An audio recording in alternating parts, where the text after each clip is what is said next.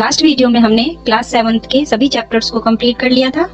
अब हम class eight के चैप्टर्स को स्टार्ट करेंगे। तो ये चैप्टर नंबर सेवनटीन होगा, क्योंकि इससे पहले माध्यमिक शिक्षा बोर्ड की किताब में ज्योग्राफी के चैप्टर और सिविक्स के चैप्टर दिए हुए हैं। तो चलिए स्टार्ट करते हैं। मुगल साम्राज्य का पतन व अठारहवीं सदी का Bharat chapter seventeen question number one Aurangzeb की मृत्यु कब हुई? औरंगज़ेब की मृत्यु कब हुई थी? तो इसका राइट आंसर है, औरंगज़ेब की मृत्यु 1707 ईस्वी में हुई थी। नेक्स्ट क्वेश्चन औरंगज़ेब कौन कौन से धर्म से नफरत करता था? औरंगज़ेब कौन कौन से धर्म से नफरत करता था? तो इसका राइट आंसर है, औरंगज़ेब हिंदुओं और सिया मुसलमानों से नफरत करता था। मुसलमान जो होते हैं वो दो दो भागों में थे, सिया मुसलमान और सुन्नी मुसलमान। तो औरंगज़ेब जो सिया मुसलमानों से भी नफरत करता था और हिंदुओं से भी नफरत करता था। नेक्स्ट क्वेश्चन मुगलों के पतन का प्रमुख कारण क्या माना जाता है? मुगलों के पतन का प्रमुख कारण क्या माना जाता है? इसका राइट आंसर है, जो मेन कारण था, वो था मराठों की शक्ति का उद्भव। तो मुगलों के पतन का मुख्य कारण था मराठों की शक्ति का उद्भव। इसके अलावा मुगलों के पतन के जो सामान्य कारण थे, वो थे औरंगज़ेब की धार्मिक नीति, औरंगज़ेब के बाद के कमज़ोर मुगल शासकों का होना और मुगलों द्वारा स्थापत्य पर बहुत अधिक खर्च करना और लास्ट अहमद शाह अब्दाली और नादिर शाह के आक्रमण से मुगलों का भी पतन माना जाता है। इसके अलावा यूरोपीय जातियों का आगमन भी मुगलों के पतन का कारण माना जाता है। लेकिन जो सबसे मेन कारण था, वो था मराठों की शक्ति के उद्भव से। नेक्स्ट क्वेश्चन पंजाब में किसके नेतृत्व में सिखों ने स्वयं को स्वतंत्र घोषित किया? पंजाब में किसके नेतृत्व में सिखों ने स्वयं को स्वतंत्र घोषित किया था? राइट आंसर बंदा बहादुर। नेक्स्ट क्वेश्चन मुगलों के मयूर सिंहासन को किस नाम से जाना जाता है? मुगलों के मयूर सिंहासन को किस नाम से जाना जाता है? इसका सही आंसर है तख्ते ताऊत के नाम से। तो मयूर सिंहासन को तख्ते ताऊत के नाम से भी जाना जाता है। नेक्स्ट क्वेश्चन नादिर शाह सत्रह ईस्वी में तख्ते ताऊत को लूट कर ईरान ले गया था। उस समय भारत में मुगल शासक कौन था? इसका सही आंसर है कि जब नादिर शाह सत्रह में मयूर सिंहासन को लूट कर ईरान ले गया था तो उस समय मुगल बादशाह मोहम्मद शाह रंगीला शासक थे। नेक्स्ट क्वेश्चन अहमद शाह अब्दाली ने भारत पर कितने बार आक्रमण किया था? अहमद शाह अब्दाली ने भारत पर कितने बार आक्रमण किया था? तो अहमद शाह अब्दाली ने पाँच बार भारत पर आक्रमण किया था। जिसमें पानीपत का जो तीसरा युद्ध है, सत्रह सौ इकसठ में लड़ा गया था मराठों के विरुद्ध, वो सबसे ज़्यादा फ़ेमस युद्ध है। नेक्स्ट क्वेश्चन मुगल काल में कौन सी यूरोपीय जातियाँ भारत आई थी? मुगल काल में कौन सी यूरोपीय जातियाँ भारत आई थी? तो क्रम से इनका आंसर है पुर्तगाली, जो चौदह में, अंग्रेज़ 1600 में, फ्रांसीसी सोलह सौ ईस्वी में आए थे। और अंत में डच आए थे, लेकिन डचों को अंग्रेज़ों ने परास्त किया था सत्रह सौ उनसठ में वेदरा के युद्ध में। तो आपसे ये भी पूछा जा सकता है कि जो वेदरा का युद्ध था, वो किस किस के बीच में लड़ा गया था? वो डचों और अंग्रेज़ों के बीच में सत्रह में लड़ा गया था। तो मुगल काल में कौन सी यूरोपीय जातियाँ आई थी? पहले पुर्तगाल आए थे, फिर अंग्रेज़, फिर फ्रांसीसी और अंत में डच। नेक्स्ट क्वेश्चन मुगलों के पतन का अंतिम कारण क्या था? मुगलों के पतन का प्रमुख कारण तो मराठों की शक्ति के उद्भव को माना जाता है और मुगलों के पतन का अंतिम कारण ईस्ट इंडिया कंपनी का राजनीतिक हस्तक्षेप था। आपको तो ये पता होगा कि जब ईस्ट इंडिया कंपनी भारत आई थी तो उसका जो उद्देश्य था, वो केवल व्यापार करना था। लेकिन धीरे धीरे ईस्ट इंडिया कंपनी ने भारत के जो भारत में सामाजिक और राजनीतिक दृष्टि से हस्तक्षेप करना प्रारंभ कर दिया था। और वह उसने अपना पूरा अपनी पूरी सत्ता जो है, वो भारत पर प्रारंभ कर दी थी। तो ये मुगलों के पतन का जो अंतिम कारण था। नेक्स्ट क्वेश्चन पर चलते हैं। मराठा साम्राज्य की स्थापना महाराष्ट्र में किसने की थी? महाराष्ट्र में मराठा साम्राज्य की स्थापना किसने की थी? तो मराठा साम्राज्य की स्थापना की थी शिवाजी ने। नेक्स्ट क्वेश्चन मराठा साम्राज्य में छत्रपति के स्थान पर कौन शक्तिशाली हुए? मराठा साम्राज्य में छत्रपति के स्थान पर कौन शक्तिशाली हुए? इसका राइट आंसर है, पेशवा शक्तिशाली हुए। मराठा साम्राज्य में छत्रपति के स्थान पर पेशवा शक्तिशाली हुए। नेक्स्ट क्वेश्चन पानीपत का तीसरा युद्ध कब हुआ?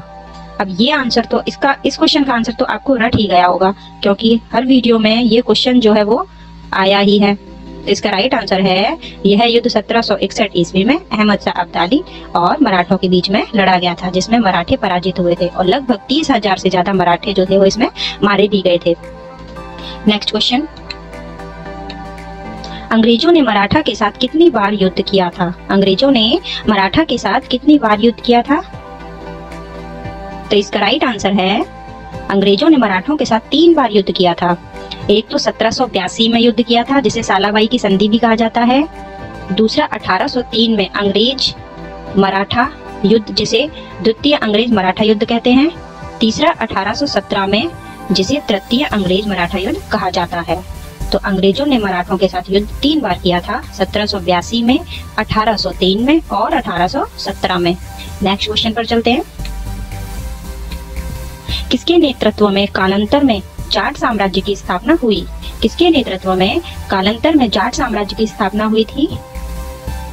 तो राजस्थान के बदन सिंह, उनके समय में जाट साम्राज्य की स्थापना हुई थी। नेक्स्ट पर चलते हैं। जाटों की शक्ति का विकास किसके नेतृत्व में हुआ? जाटों की शक्ति का विकास किसके नेतृत्व में हुआ? तो राइट आंसर है जाटों की शक्ति का विकास जो है वो भरतपुर के महाराज सूरजमल के नेतृत्व में हुआ था। नेक्स्ट पर चलते हैं। भरतपुर को अपनी राजधानी किसने बनाया था? भरतपुर को अपनी राजधानी किसने बनाया था? तो भरतपुर को अपनी राजधानी महाराजा सूरजमल ने ही बनाया था। नेक्स्ट क्वेश्चन भरतपुर के किस शासक ने अंग्रेज़ों के विरुद्ध मराठा यशवंत राव होलकर की सहायता की थी? अंग्रेज़ों अंग, सॉरी, भरतपुर के किस शासक ने अंग्रेज़ों के विरुद्ध मराठा यशवंत राव होलकर की सहायता की थी? तो इसका राइट आंसर है रणजीत सिंह। रणजीत सिंह ने अंग्रेज़ों के विरुद्ध जाकर मराठा यशवंत राव होलकर की सहायता की थी। क्योंकि अंग्रेज़ों ने राजपूतों से यह संधि कर ली थी कि वो किसी भी मराठा की हेल्प नहीं करेंगे। लेकिन रणजीत सिंह जो भरतपुर के शासक थे, उन्होंने अंग्रेज़ों के विरुद्ध जाकर मराठा शासक यशवंत राव होलकर की हेल्प की थी। Next question. मुगलों के मनसबदार निज़ाम चिन किलिन खान ने दक्षिण के छह मुगल सूबों को मिलाकर किस राज्य का निर्माण किया? मुगलों के मनसबदार निज़ाम चिन किलिन खान ने दक्षिण के छह मुगल सूबों को मिलाकर किस राज्य का निर्माण किया? इसका राइट आंसर है, निज़ाम चिन किलिन खान ने दक्षिण के छह मुगल सूबों को मिलाकर जिस राज्य का निर्माण किया, वो राज्य था हैदराबाद। कौन सा था? हैदराबाद। नेक्स्ट क्वेश्चन मराठों ने निज़ाम चिन किलिन खां को किस युद्ध में पराजित किया था? मराठों ने निज़ाम चिन किलिन खां को किस युद्ध में पराजित किया था। इसका राइट आंसर है, पाल खेत के युद्ध में। किसने पराजित किया था? पाल खेत के युद्ध में। नेक्स्ट क्वेश्चन अवध राज्य की स्थापना किसने की? अवध राज्य की स्थापना किसने की? इसका सही आंसर है, शहादत खान ने जो 1722 ईस्वी में की थी। तो अवध राज्य की स्थापना शहादत खान ने 1722 ईस्वी में की थी। नेक्स्ट क्वेश्चन बंगाल राज्य की स्थापना किसने की? बंगाल राज्य की स्थापना किसने की? इसका राइट आंसर है, बंगाल राज्य की स्थापना मुर्शिद कुली खान की थी। किसने की थी? मुर्शिद कुली खान की थी। तो ये जो तीन क्वेश्चन हैं, जिसमें हैदराबाद की स्थापना चिंकिलिन खाने की थी, अवध राज्य की स्थापना, शहादत खाने की थी, और बंगाल राज्य की स्थापना मुर्शिद कुली खाने की थी। ये क्वेश्चन आपसे एग्ज़ाम में पूछा जा सकता है। नेक्स्ट क्वेश्चन प्लासी का युद्ध कब और किसके बीच हुआ? प्लासी का युद्ध कब व किसके बीच हुआ? इसका आंसर आपको पता होना चाहिए, क्योंकि ये क्वेश्चन जो है वो बहुत बहुत ज़्यादा इंपॉर्टेंट है। एक प्लासी का युद्ध कब हुआ, किस किस के बीच में हुआ और एक बक्सर का युद्ध कब हुआ और किस किस के बीच में हुआ? ये क्वेश्चन तो आपसे एग्ज़ाम में पूछ लिए जाते हैं। नेक्स्ट क्वेश्चन सॉरी आंसर है इसका। कि प्लासी का युद्ध जो है वो सत्रह ईस्वी में अंग्रेज़ सेनापति रॉबर्ट क्लाइव और सिराजुद्दौला के बीच हुआ था। तो प्लासी का युद्ध जो है वो सत्रह ईस्वी में अंग्रेज़ सेनापति रॉबर्ट क्लाइव और सिराजुद्दौला के बीच हुआ था। इस युद्ध के बाद ही बंगाल पर अंग्रेज़ी साम्राज्य जो है वो स्थापित हो गया था और धीरे धीरे जो अंग्रेज़ थे, उन्होंने बंगाल, मद्रास, मैसूर, कलकत्ता और इसके बाद पूरे भारत पर अपना कब्जा कर लिया था। नेक्स्ट क्वेश्चन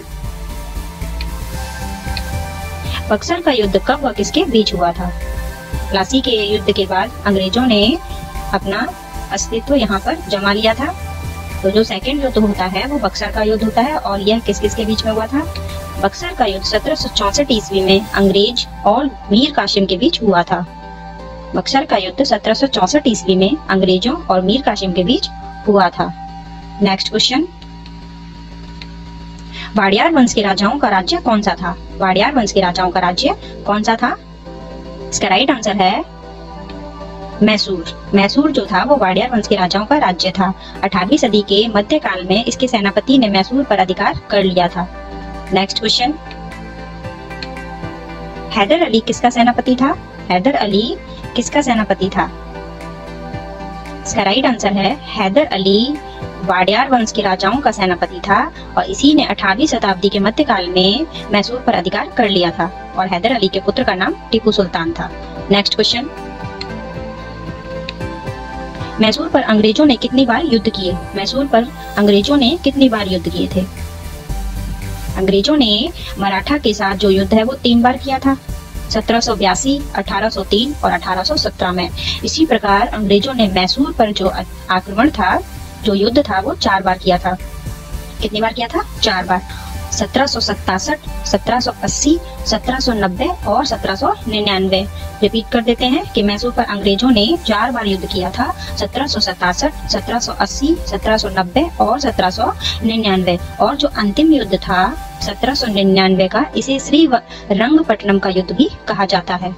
नेक्स्ट क्वेश्चन अंग्रेज़ों को चंदन व इलायची का निर्यात टीपू सुल्तान ने कब रोका? अंग्रेज़ों को चंदन व इलायची के निर्यात टीपू सुल्तान ने कब रोका था? इसका राइट आंसर है सत्रह ईस्वी में अंग्रेज़ों को चंदन और इलायची का निर्यात जो है वो टीपू सुल्तान ने रोक दिया था और वहाँ के स्थानीय व्यापारियों को भी निर्यात करने से मना कर दिया था। जो मैसूर था, वो मालावार तट पर होने वाला व्यापार का पूर्ण नियंत्रण रखता था, जिससे अंग्रेज़ जो थे टीपू सुल्तान के इस काम से भड़क गए थे, जब उन्होंने इलायची और चंदन के निर्यात पर रोक लगा दी थी। वैसे जो टीपू सुल्तान था, उनके अंग्रेज़ों के साथ तो युद्ध हुए थे, लेकिन फ्रांसीसियों के साथ इनके बहुत अच्छे संबंध थे। नेक्स्ट क्वेश्चन मैसूर के साथ अंग्रेज़ों की जो अंतिम जंग थी, वो कब और कहाँ हुई थी? तो मैसूर के साथ अंग्रेज़ों की जो जंग थी, जो अंतिम जंग थी और वो हुई थी श्रीरंगपट्टनम में 4 मई सत्रह सौ निन्यानवे को। मैसूर के साथ अंग्रेज़ों ने चार बार युद्ध किए थे, सत्रह सौ चौसठ, सत्रह सौ अस्सी, सत्रह सौ नब्बे और अंतिम युद्ध जो था वो श्रीरंगपट्टनम का युद्ध था। नेक्स्ट क्वेश्चन राजपूत राजाओं का होड़ा नामक स्थान पर सम्मेलन किसने बुलाया था? राजपूत राजाओं का होड़ा सम्मेलन किसने बुलाया था? इसका राइट आंसर है सवाई जयसिंह और अन्य शासकों ने मिलकर होड़ा सम्मेलन बुलाया था। नेक्स्ट क्वेश्चन और ये जो सम्मेलन था, वो सत्रह ईस्वी में भीलवाड़ा में बुलाया था। जयपुर के महाराज कौन थे? जयपुर के महाराज कौन थे? तो जयपुर के महाराज थे सवाई जयसिंह। नेक्स्ट क्वेश्चन भारत में पाँच स्थानों पर वैधशाला व जंतर मंतर किसने बनवाया? भारत में पाँच स्थानों पर वैधशाला और जंतर मंतर किसने बनवाया था? इसको आप नोट कर लें कि भारत में पाँच स्थानों पर वैधशाला और जंतर मंतर का निर्माण सवाई जयसिंह ने करवाया था। नेक्स्ट क्वेश्चन मालवा की सूबेदारी किसने प्राप्त की? मालवा की सूबेदारी किसने प्राप्त की थी? इसका सही जवाब है सवाई जयसिंह ने मालवा की सूबेदारी प्राप्त की थी। नेक्स्ट क्वेश्चन होरडा सम्मेलन बुलाने का क्या कारण था? होरडा सम्मेलन, जो सत्रह ईस्वी में राजपूत राजाओं जिसमें सवाई जयसिंह प्रमुख थे, उनके द्वारा बुलाया गया था। तो इस सम्मेलन को बुलाने का क्या कारण था? इसका राइट आंसर है, उस समय मराठों के बढ़ते प्रभाव को रोकने के लिए, मराठों के जो बढ़ते प्रयास थे, उनको रोकने के लिए सवाई जयसिंह और अन्य शासकों ने भीलवाड़ा में घोड़ा सम्मेलन बुलाया था। इसके अलावा राजपूतों की एकता का प्रयास करने के लिए भी घोड़ा सम्मेलन को बुलाया था। और मेन कारण जो था, वो मराठों का बढ़ता प्रयास को रोकना था। नेक्स्ट क्वेश्चन जोधपुर के महाराजा अजीत सिंह ने किस मुगल सम्राट को गद्दी से हटाने में महत्वपूर्ण योगदान दिया? जोधपुर के महाराजा अजीत सिंह ने किस मुगल सम्राट को गद्दी से हटाने में महत्वपूर्ण योगदान दिया था? इसका राइट आंसर है मुगल सम्राट फरुख शेयर तो जोधपुर के जो महाराजा अजीत सिंह थे, उन्होंने मुगल सम्राट फरुख शेयर को गद्दी से हटाने में महत्वपूर्ण योगदान दिया था। नेक्स्ट क्वेश्चन जयपुर की अंतिम सफलता के रूप में सवाई प्रताप सिंह ने मराठों को किस युद्ध में हराया? जयपुर की अंतिम सफलता के रूप में सवाई प्रताप सिंह ने मराठों को किस युद्ध में हराया था? तो सवाई प्रताप सिंह ने मराठों को तुंगा के युद्ध में हराया था। आंसर है इसका तुंगा का युद्ध। नेक्स्ट क्वेश्चन हवा महल का निर्माण किसने करवाया था? हवा महल का निर्माण किसने करवाया था? इसका राइट आंसर है सवाई प्रताप सिंह ने हवा महल का निर्माण करवाया था और सवाई जयसिंह ने पाँच स्थानों पर वैधशाला और जंतर मंतर बनवाया था। नेक्स्ट क्वेश्चन डीन के महलों का निर्माण किसने करवाया था? डीन के महलों का निर्माण किसने करवाया था? इसका राइट आंसर है, जाट शासकों द्वारा जीत के, डीन के महलों का निर्माण करवाया गया था। जाट शासकों द्वारा डीन के महलों का निर्माण करवाया गया था। नेक्स्ट पर चलेंगे। गंधर्व बाईसी जैसे विद्वान किस शासक के दरबार में रहते थे?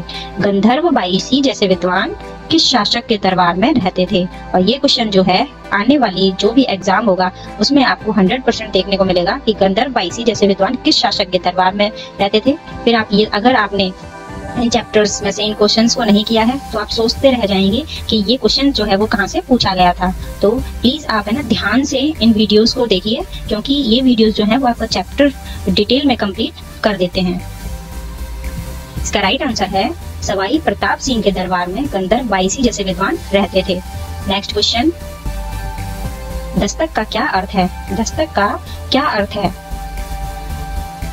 तो दस्तक का अर्थ होता है आज्ञा पत्र। नेक्स्ट क्वेश्चन चौथ व सरदेश मुखी क्या है? चौथ व सरदेश मुखी क्या है? इसका राइट आंसर है चौथ जो है वो मराठों से लिया जाने वाला एक बट्टा चार सुरक्षा कर था और सरदेश मुखी मराठा क्षेत्र के शासकों से लिया जाने वाला भू राजस्व का एक बट्टा दसवा भाग कर के रूप में था। क्लास एट का चैप्टर नंबर 18 अठारह का स्वतंत्रता संग्राम। क्वेश्चन नंबर वन है, देश का प्रथम स्वतंत्रता संग्राम कब हुआ? देश का प्रथम स्वतंत्रता संग्राम कब हुआ? तो इसका राइट आंसर है अठारह की क्रांति को देश का प्रथम स्वतंत्रता संग्राम कहा जाता है। ठीक है? नेक्स्ट क्वेश्चन चलेंगे। अंग्रेज़ों ने बंगाल में अपने साम्राज्य की नींव कब डाली? अंग्रेज़ों ने बंगाल में अपने साम्राज्य की नींव कब डाली?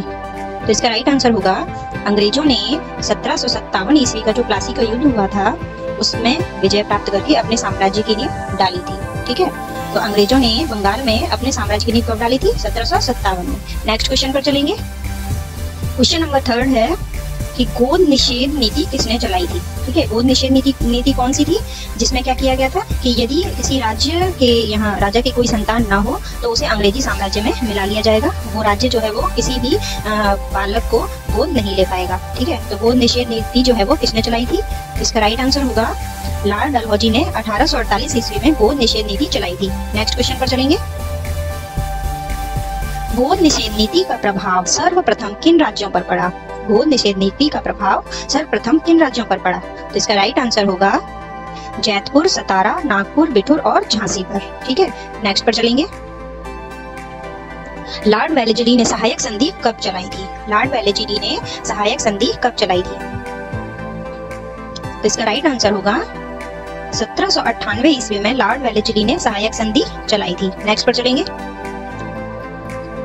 अठारह ईस्वी में सर्वप्रथम अंग्रेज़ों ने किसे अपने नियंत्रण में लिया था? यानी कि अठारह की जो क्रांति हुई थी, उससे पहले अंग्रेज़ों ने ऐसे काम किए थे जिसकी वजह से जो अठारह का स्वतंत्रता संग्राम हुआ था। तो ये जो आग है, वो धीरे धीरे ही बढ़ी थी। ऐसा नहीं हुआ था कि अठारह की जो क्रांति है, वो अचानक से पैदा हो गई थी। नहीं, उससे पहले ही अंग्रेज़ों ने ऐसे ऐसे काम किए थे जिससे कि धीरे धीरे वो क्रांति जो है, वो भड़क रही थी। तो अठारह ईस्वी में सर्वप्रथम अंग्रेज़ों ने किसे अपने नियंत्रण में लिया था? तो इसका राइट आंसर है अवध को। अवध को जिसे अंग्रेज़ जो है वो बहुत अच्छे से बहुत अच्छे से उसे अपने नियंत्रण में ले लिया। और वैसे अवध जो है वो उनका बहुत सलाहकार भी माना जाता था, लेकिन फिर भी उन्होंने अवध को भी नहीं छोड़ा था। नेक्स्ट पर चलेंगे। कहाँ के दीवान ने अंग्रेज़ी समर्थन के बल पर जागीरदारों को उनके पैतृक अधिकारों से वंचित कर देने पर बाध्य किया? कहाँ के दीवान थे वो? जिन्होंने अंग्रेज़ी समर्थन के बल पर जागीरदारों को उनके पैतृक अधिकारों से वंचित कर देने पर बाध्य किया था? तो इसका राइट आंसर होगा, राजस्थान में जयपुर में दीवान सूथाराम जो थे, उन्होंने अंग्रेज़ी समर्थन के बल पर जागीरदारों को, उनके पैतृक अधिकारों से वंचित कर देने पर बाध्य किया था। नेक्स्ट पर चलेंगे। धार्मिक क्षेत्र में सरकार ने किस धर्म के प्रचार की छूट दी, जिसमें समाज के कमज़ोर वर्गों को धर्म परिवर्तन के लिए बाध्य किया गया? यानी कि धार्मिक क्षेत्र में जो अंग्रेज़ी सरकार थी, उसने किस धर्म के प्रचार की छूट दी थी और बाकी सभी धर्म के प्रचार पर छूट नहीं दी थी? तो जिससे समाज के कमज़ोर वर्गों को धर्म परिवर्तन के लिए बाध्य किया गया था। तो वो था ईसाई धर्म। अंग्रेज़ी सरकार चाहती थी कि जो भी कमज़ोर वर्ग के लोग हैं, वो ईसाई धर्म को अपना लें। इसके लिए उन्होंने बहुत सारे ज़ोर ज़बरदस्ती कार्य किए थे। नेक्स्ट पर चलेंगे। अंग्रेज़ों ने किस व्यापार पर अधिकार जमाया? अंग्रेज़ों ने किस व्यापार पर अधिकार जमाया था? इसका राइट आंसर है, अंग्रेज़ों ने नमक व अफीम के व्यापार पर अपना अधिकार जमाया था। किस पर जमाया था? नमक व अफीम पर। नेक्स्ट क्वेश्चन करेंगे। किसने इंग्लैंड में बने माल को भारत में खपाने के लिए भारतीय वस्त्रों पर अधिक कर लगाए? किसने इंग्लैंड में बने माल को भारत में खपाने के लिए भारतीय वस्त्रों पर अधिक कर लगाए? तो इसका राइट आंसर होगा अंग्रेज़ों ने। अंग्रेज़ लोग क्या करते थे कि भारत का जो कच्चा माल है, वो अपने देश में ले जाते थे और वहाँ से जो तैयार माल है, वो हमारे देश में ही आकर वापस उन्हें बेच देते थे। और जो यहाँ का जो माल होता था, भारत का माल, उस पर इतना अधिक टैक्स लगाते थे कि वो नहीं बिक पाता था। यानी कि दोनों तरफ़ से ही जो भारतीय लोग थे, वो परेशान हो रहे थे। नेक्स्ट क्वेश्चन पर चलेंगे। अंग्रेज़ों ने बकाया खराज के नाम पर राजस्थान में कहाँ कहाँ से नमक उत्पादन के स्रोत छीने। अंग्रेज़ों ने बकाया खराज के नाम पर, खराज मतलब कर के नाम पर राजस्थान में कहाँ कहाँ से नमक उत्पादन के स्रोत छीने।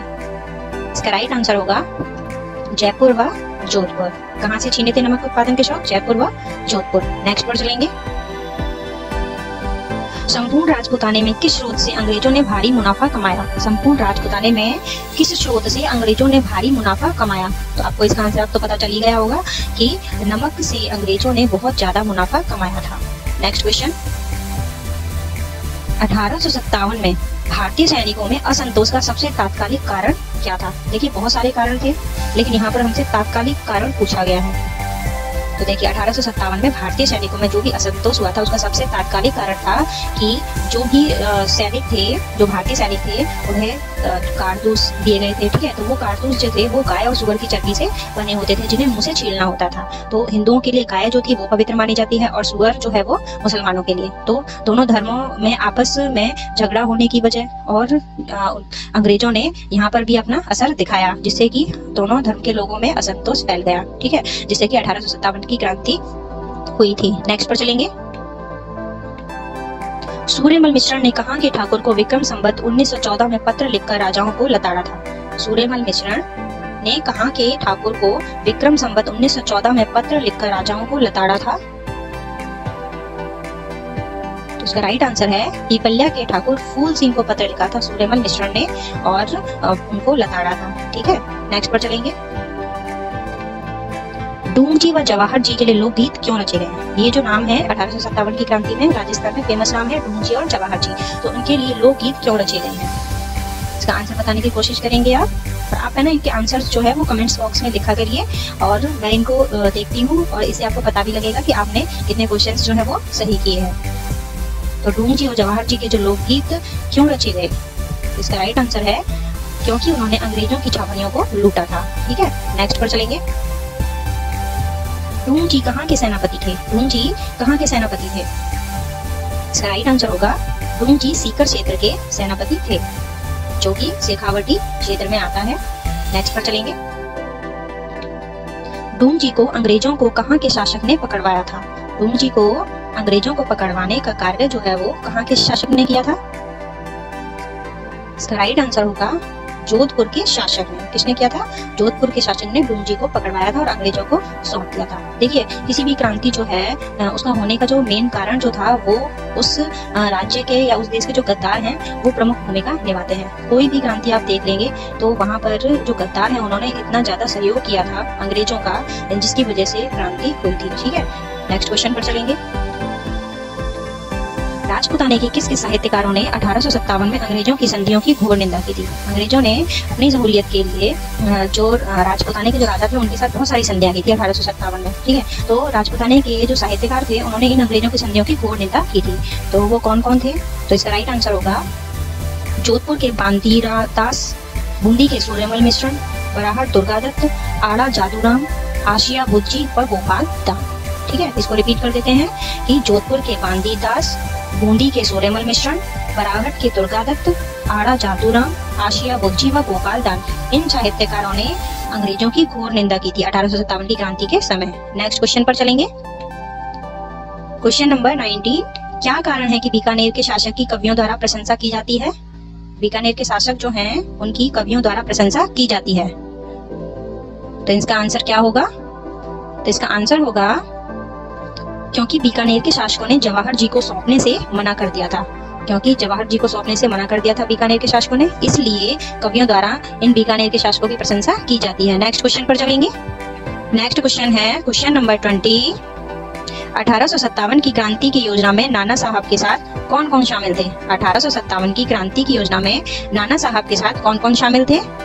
तो उनके नाम बताइए। इसका राइट आंसर होगा नाना साहब के साथ थे अजीमुल्ला तथा रंगोजी बापू कौन थे? अजीमुल्ला तथा रंगोजी बापू ठीक है नेक्स्ट क्वेश्चन पर चलेंगे। क्वेश्चन नंबर ट्वेंटी वन है कि किस मुगल बादशाह के नेतृत्व में 31 मई अठारह ईस्वी को भारत में क्रांति शुरू करनी थी। यानी कि भारत में जो क्रांति थी, उसकी जो डेट रखी गई थी, वो थी इकतीस मई अठारह ये आपका क्वेश्चन हो गया, ठीक है?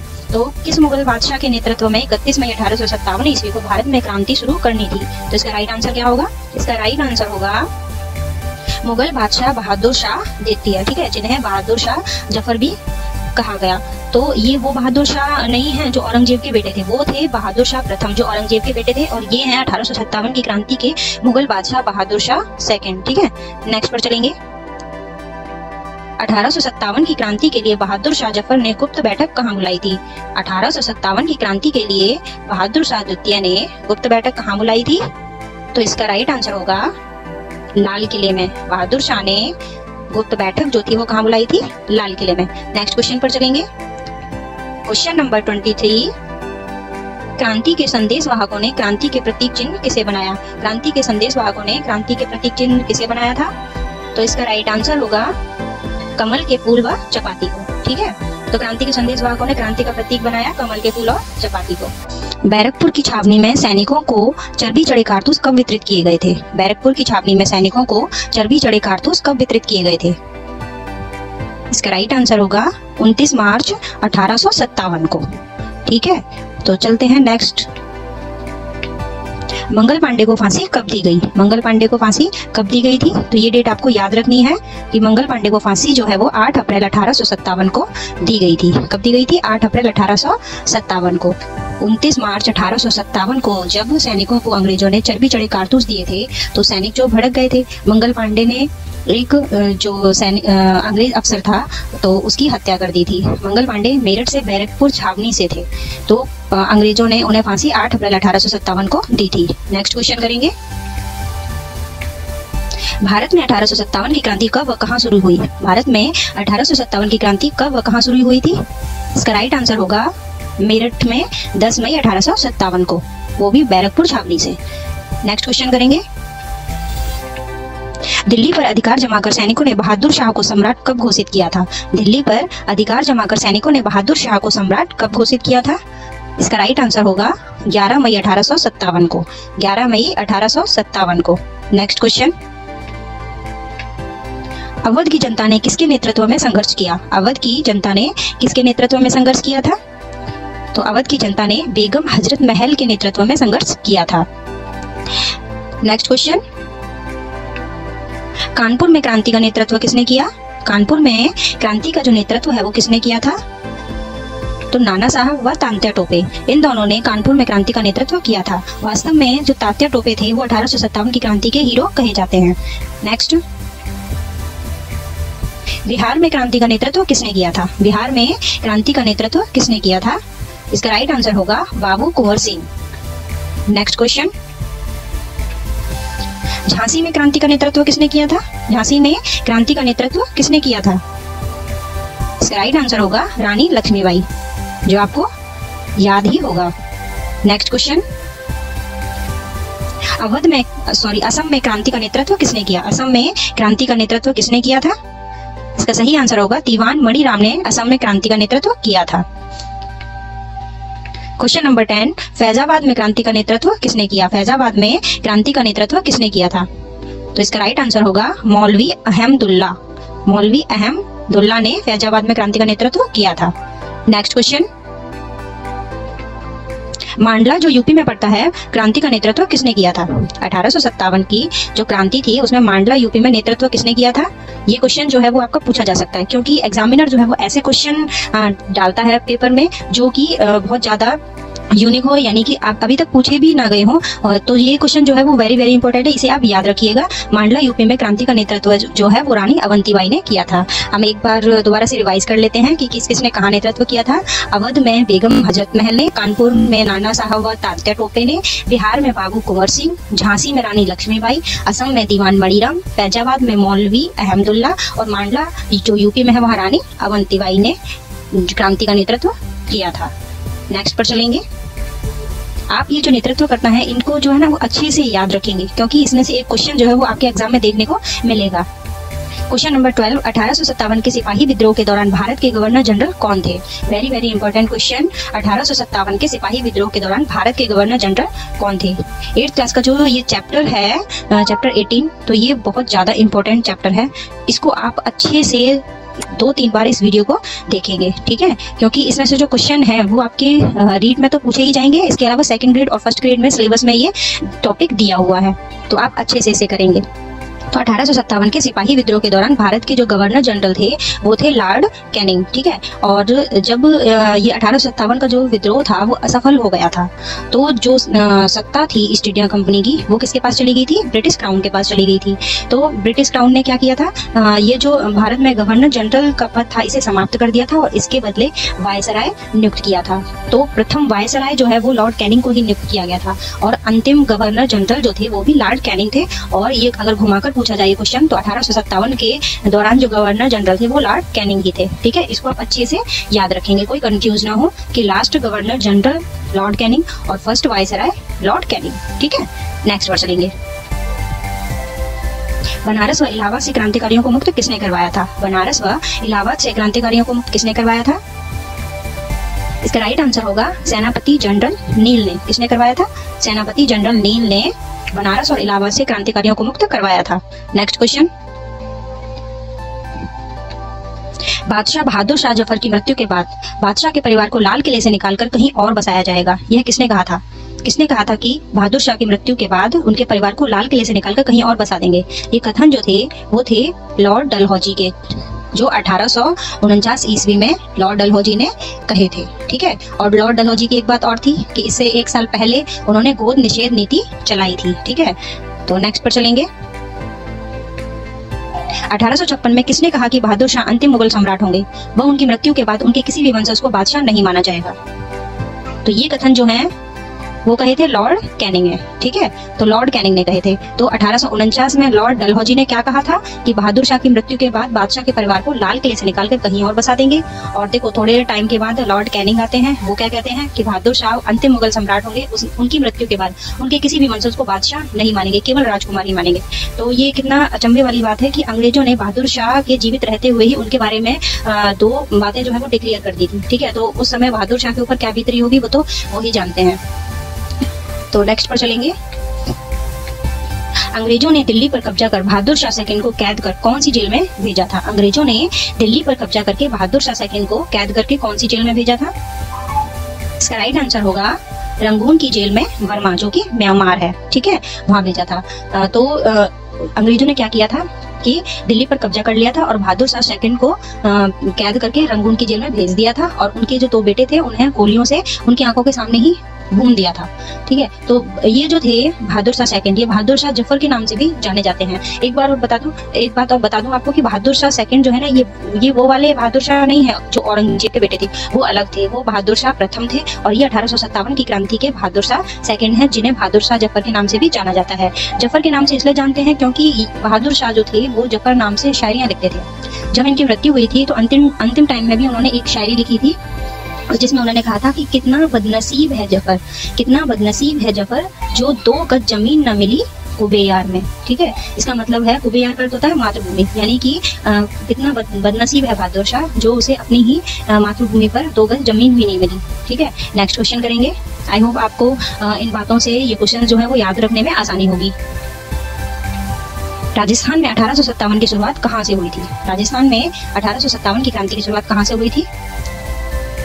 इसका राइट आंसर होगा 28 मई अठारह को नसीराबाद में अठारह की क्रांति की शुरुआत हुई थी और भारत में मेरठ से 10 मई अठारह को बैरकपुर छावनी से हुई थी। नेक्स्ट क्वेश्चन नसीराबाद में तैनात पंद्रहवीं नेटिव बंगाल इन्फेंट्री के सैनिकों ने अपने अधिकारियों पर हमला कब किया था? नसीराबाद में तैनात पंद्रहवीं नेटिव बंगाल इन्फेंट्री के सैनिकों ने अपने अधिकारियों पर हमला कब किया था? तो उन्होंने 28 मई अठारह को हमला किया था। नेक्स्ट क्वेश्चन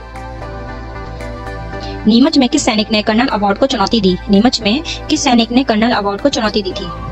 इसका आंसर सोचिए आप, बताने की कोशिश करें कि नीमच में किस सैनिक ने कर्नल अवार्ड को चुनौती दी थी? तो इसका राइट आंसर होगा, मोहम्मद अली बेग ने कर्नल अवार्ड को नीमच में चुनौती दी थी। ये जो नीमच है, ये वर्तमान में तो एमपी यानी मध्य प्रदेश में है। किंतु उस समय रियासतें हुआ करती थी तो नीमच मेवाड़ रियासत का हिस्सा था।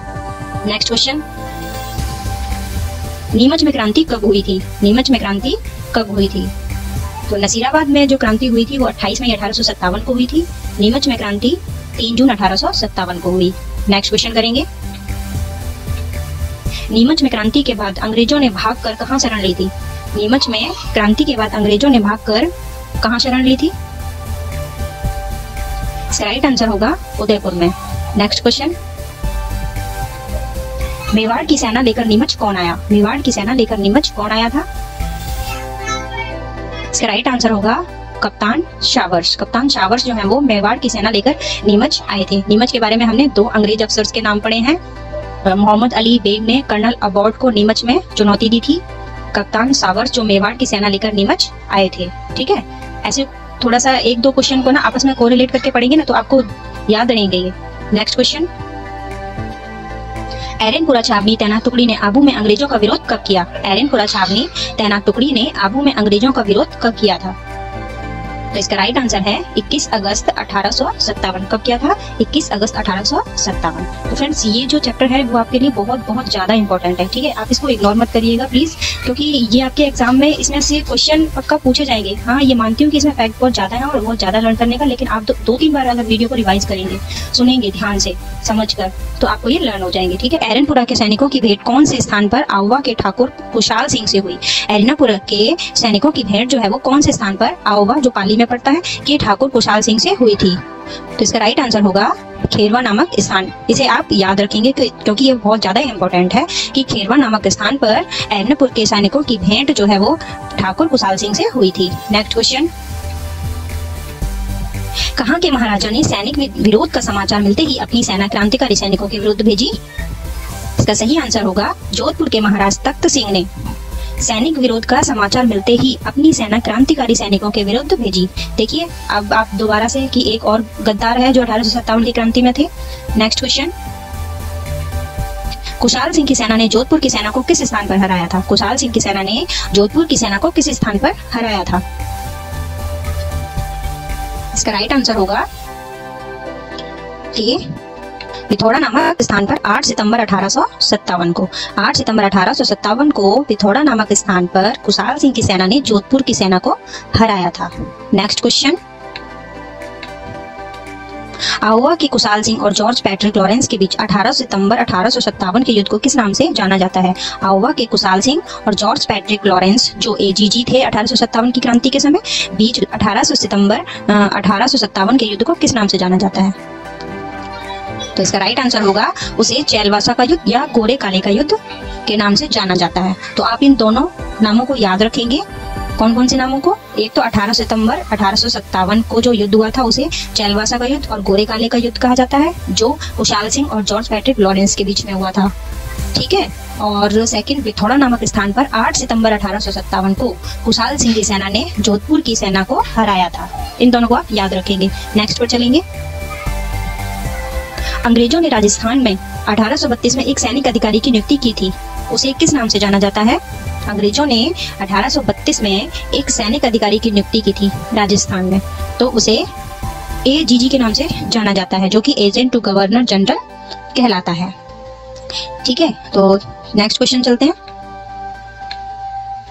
राजस्थान में प्रथम एजीजी किसे नियुक्त किया गया? राजस्थान में जो 1832 में सैनिक अधिकारी की नियुक्ति की थी तो जो प्रथम एजीजी था, वो कौन था?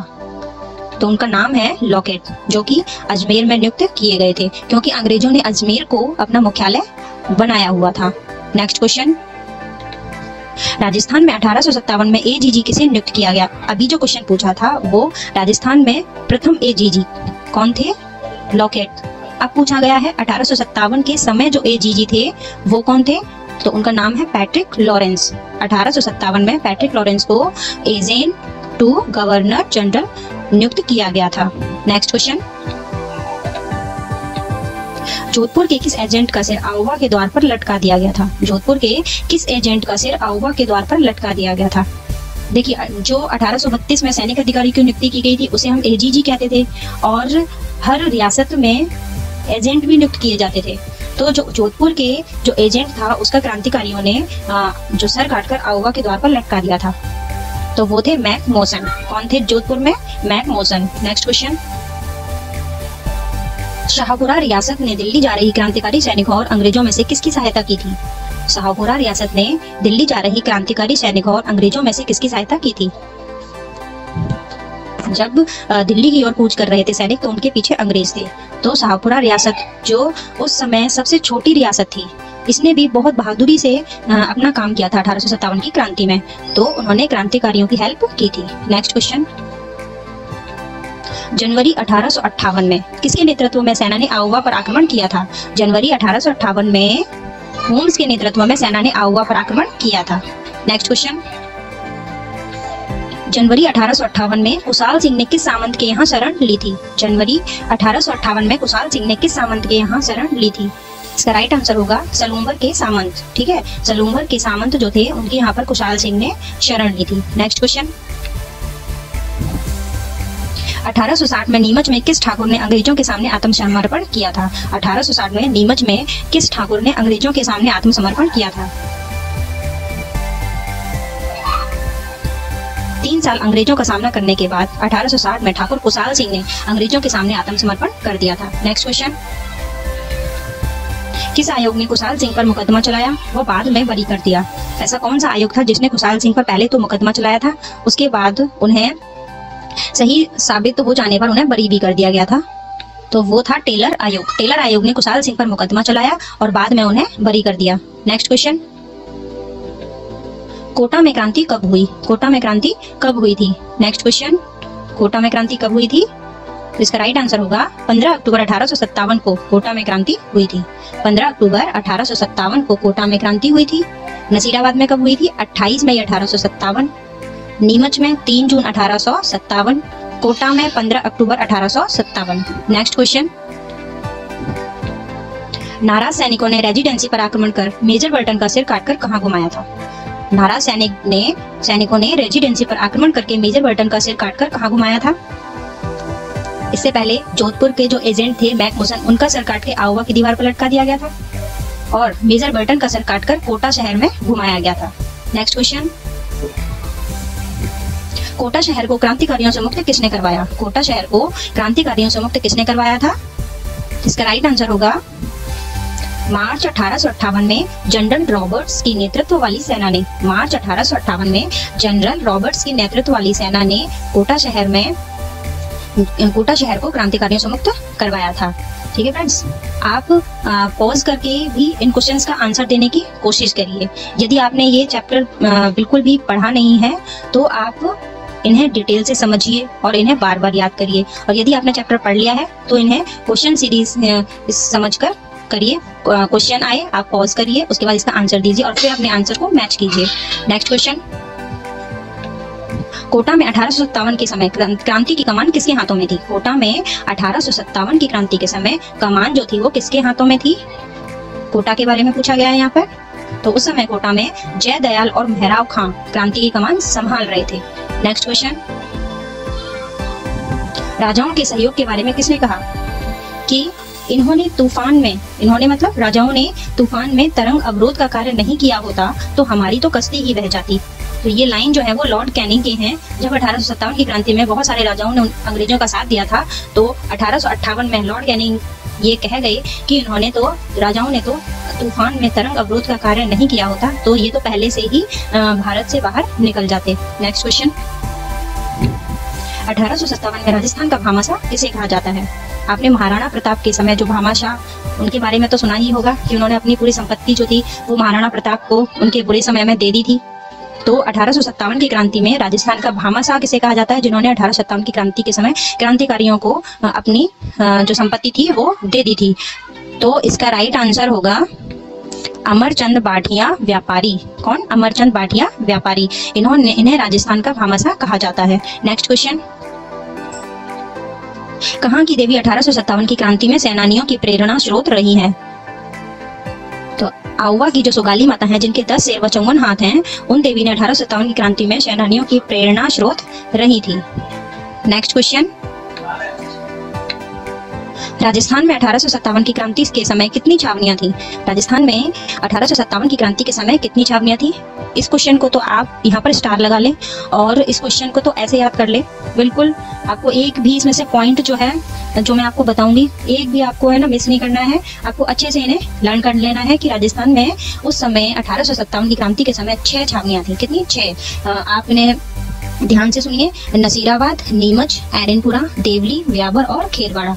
दोबारा से सुनिए नसीराबाद, नीमच, एरनपुरा, देवली, ब्यावर और खेरवाड़ा। जो ब्यावर और खेरवाड़ा थे, इन दोनों ने अठारह सौ सत्तावन की क्रांति में भाग नहीं लिया था। इसके अलावा नसीराबाद, जो अजमेर में, नीमच वर्तमान एमपी में, लेकिन उस समय मेवाड़ रियासत का हिस्सा था, एरनपुरा पाली में है, देवली टोंक में है, ब्यावर, अजमेर में और खेरवाड़ा उदयपुर में ठीक है? नेक्स्ट पर चलेंगे। राजस्थान में अठारह सौ सत्तावन की क्रांति के समय अंग्रेज़ों द्वारा जयपुर, भरतपुर, कोटा, जोधपुर व उदयपुर रियासतों में नियुक्त पॉलिटिकल एजेंटों के नाम बताइए।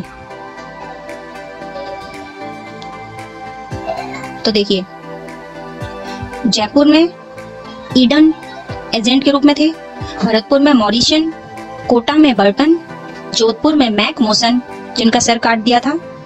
उदयपुर में शावर्स ठीक है? रिपीट कर देते हैं। जयपुर में ईडन भरतपुर में मॉरिशन कोटा में बर्टन जोधपुर में मैक मोसन और उदयपुर में शावर्स नेक्स्ट क्वेश्चन मैं रिपीट इसलिए करती हूँ, आप तो कहेंगे कि ये सब कुछ तो वैसे ही लिखा हुआ है, लेकिन रिपीट करने का मेरा उद्देश्य केवल ये रहता है कि आपको ये बार बार सुन के याद हो जाए। तो next question number twenty three ये क्वेश्चन जो है वो आपका अठारह सौ सत्तावन की क्रांति का लास्ट क्वेश्चन है, ठीक है? अठारह सौ सत्तावन क्रांति कब कब, कहाँ हुई और क्रांति की कमान किसके हाथों में थी?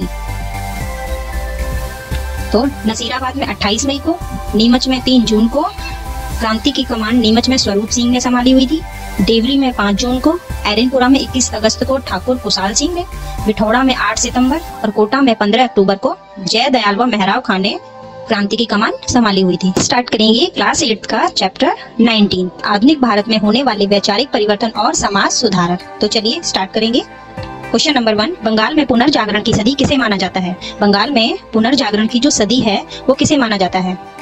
जब बहुत से समाज सुधारक हुए थे, जिन्होंने समाज के लिए बहुत सारे सुधार कार्य किए थे तो राइट आंसर है, उन्नीसवीं सदी को पुनर्जागरण की सदी माना जाता है। Next question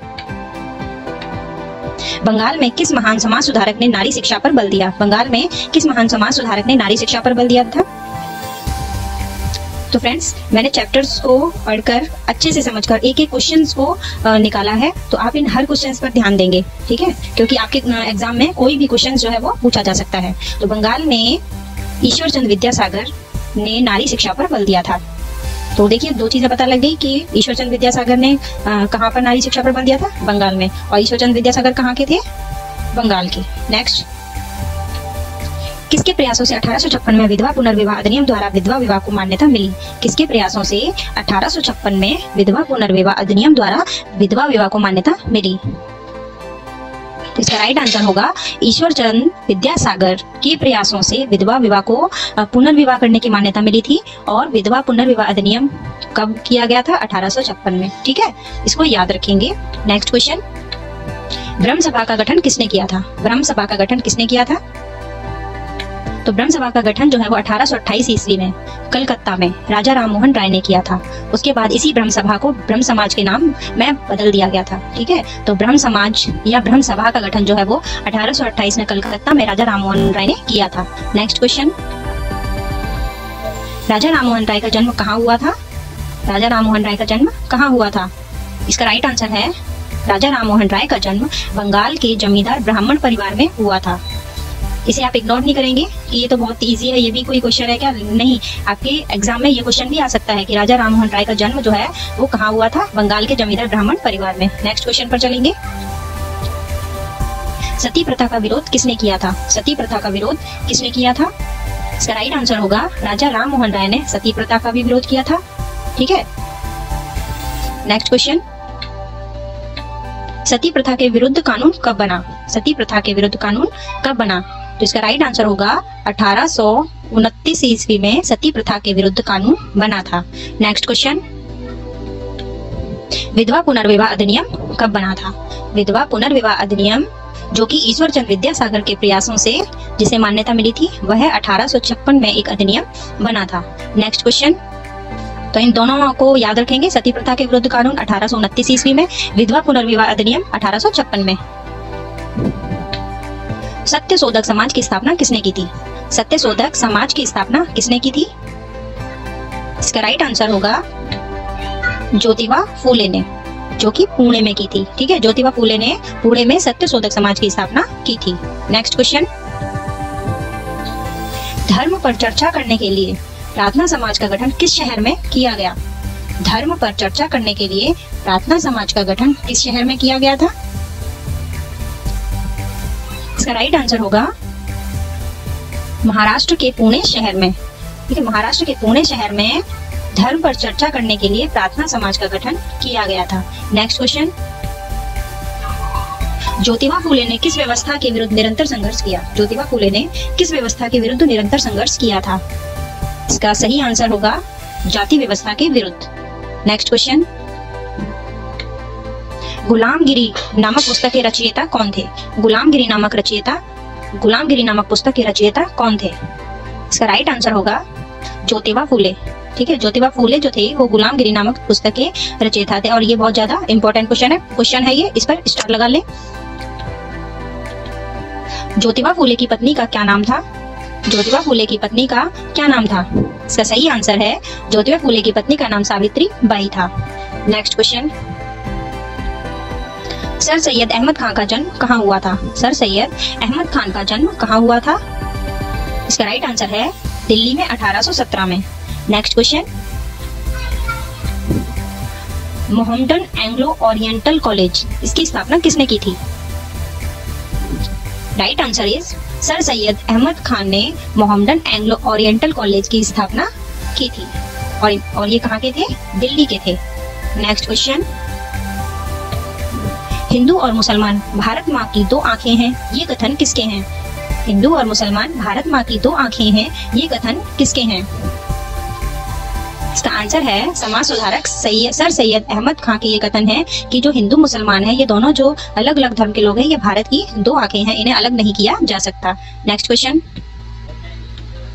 sir Syed Ahmad Khan का निधन कब हुआ था? तो सर सैयद अहमद खान का जन्म जो है वो दिल्ली में 1817 में हुआ था और इनकी मृत्यु जो है वो अठारह में अलीगढ़ में हुई थी। नेक्स्ट क्वेश्चन साइंटिफिक सोसाइटी की स्थापना का श्रेय किसको जाता है? साइंटिफिक सोसाइटी की स्थापना का श्रेय किसको जाता है? इसका सही आंसर है सर सैयद अहमद खान ने साइंटिफिक सोसाइटी की स्थापना की थी। ठीक है?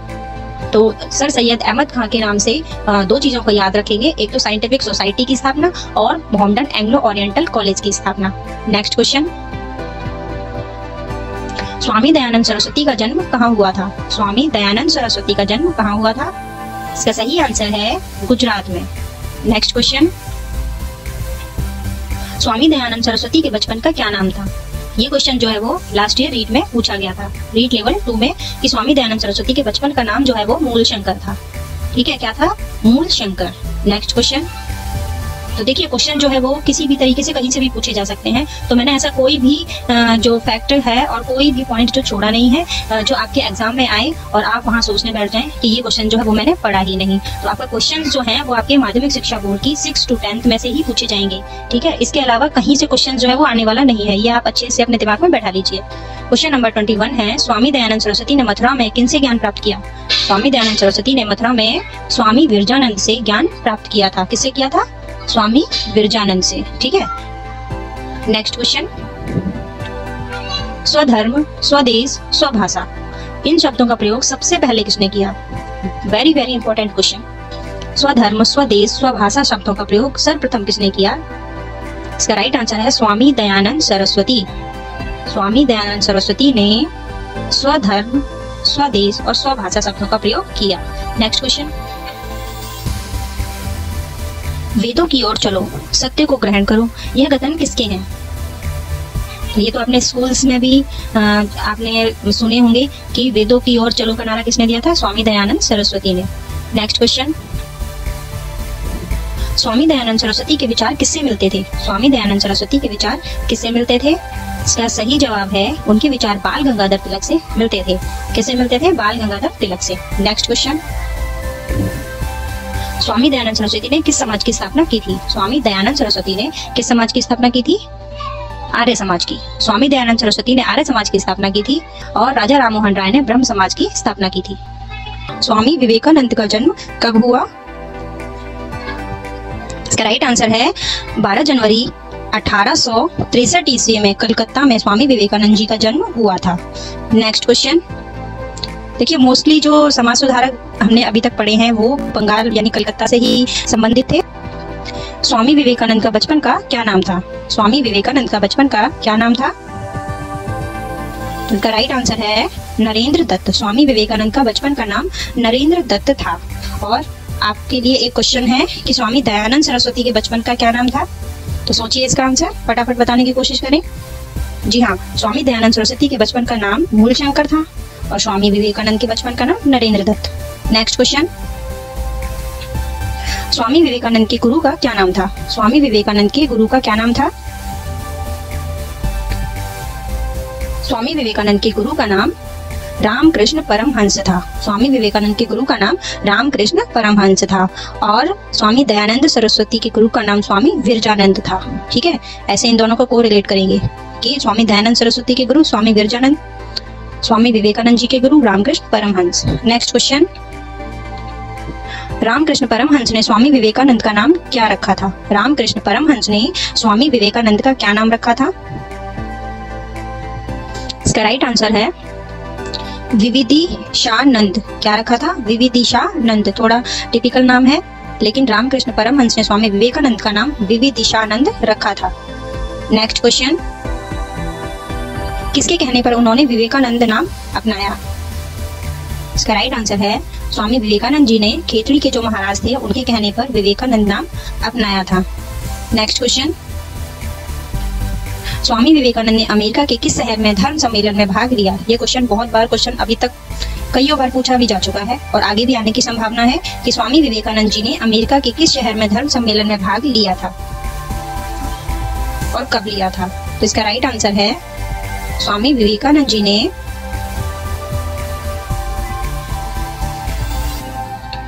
शिकागो के धर्म सम्मेलन में भाग लिया था। कहा लिया था? शिकागो, अमेरिका में धर्म सम्मेलन में भाग लिया था। ठीक है? नेक्स्ट क्वेश्चन करेंगे। रामकृष्ण मिशन की स्थापना किसने की? रामकृष्ण मिशन की स्थापना किसने की थी? राइट आंसर है स्वामी विवेकानंद ने अपने गुरु रामकृष्ण परमहंस के नाम पर रामकृष्ण मिशन की स्थापना की थी। नेक्स्ट क्वेश्चन अलवर व खेतड़ी में कौन से समाज सुधारक गए थे? अलवर व खेतड़ी में कौन से समाज सुधारक गए थे? इसका राइट आंसर है स्वामी विवेकानंद जी अलवर व खेतड़ी में गए थे और खेतड़ी के महाराजा जो थे, उनके कहने पर ही इन्होंने अपना नाम विवेकानंद रखा था विविध दिशानंद के बाद। तो इनका विविदिशानंद नाम किसने रखा था? रामकृत परमहंस जो इनके गुरु थे। नेक्स्ट क्वेश्चन राजस्थान के करौली, अजमेर, चित्तौड़गढ़, उदयपुर, जोधपुर की यात्रा किस समाज सुधारक ने की थी? राजस्थान के करौली, अजमेर, चित्तौड़गढ़, उदयपुर व जोधपुर की यात्रा किस समाज सुधारक ने की थी? इसका सही आंसर है स्वामी दयानंद सरस्वती ने करौली, अजमेर, चित्तौड़गढ़, उदयपुर और जोधपुर की यात्रा की थी और स्वामी विवेकानंद जी अलवर और खेतड़ी गए थे। नेक्स्ट क्वेश्चन स्वामी दयानंद सरस्वती ने परोपकारिणी सभा की स्थापना कहाँ की थी? स्वामी दयानंद सरस्वती ने परोपकारिणी सभा की स्थापना कहाँ की थी? इसका राइट आंसर है 1883 में उदयपुर में। कहा की थी? 1883 में उदयपुर में। नेक्स्ट क्वेश्चन भारत में थियोसॉफिकल सोसाइटी की स्थापना किसने की?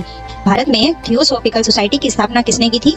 श्रीमती एनी बेसेंट ने भारत में थियोसॉफिकल सोसाइटी की स्थापना की थी। नेक्स्ट क्वेश्चन जनजाति वर्ग के लोगों के समाज सुधारक कौन है? जनजाति वर्ग के लोगों के समाज सुधारक कौन है? इसका राइट आंसर है गोविंद गुरु जी जनजाति वर्ग के लोगों के समाज सुधारक थे। नेक्स्ट क्वेश्चन संप सभा की स्थापना किसने की थी?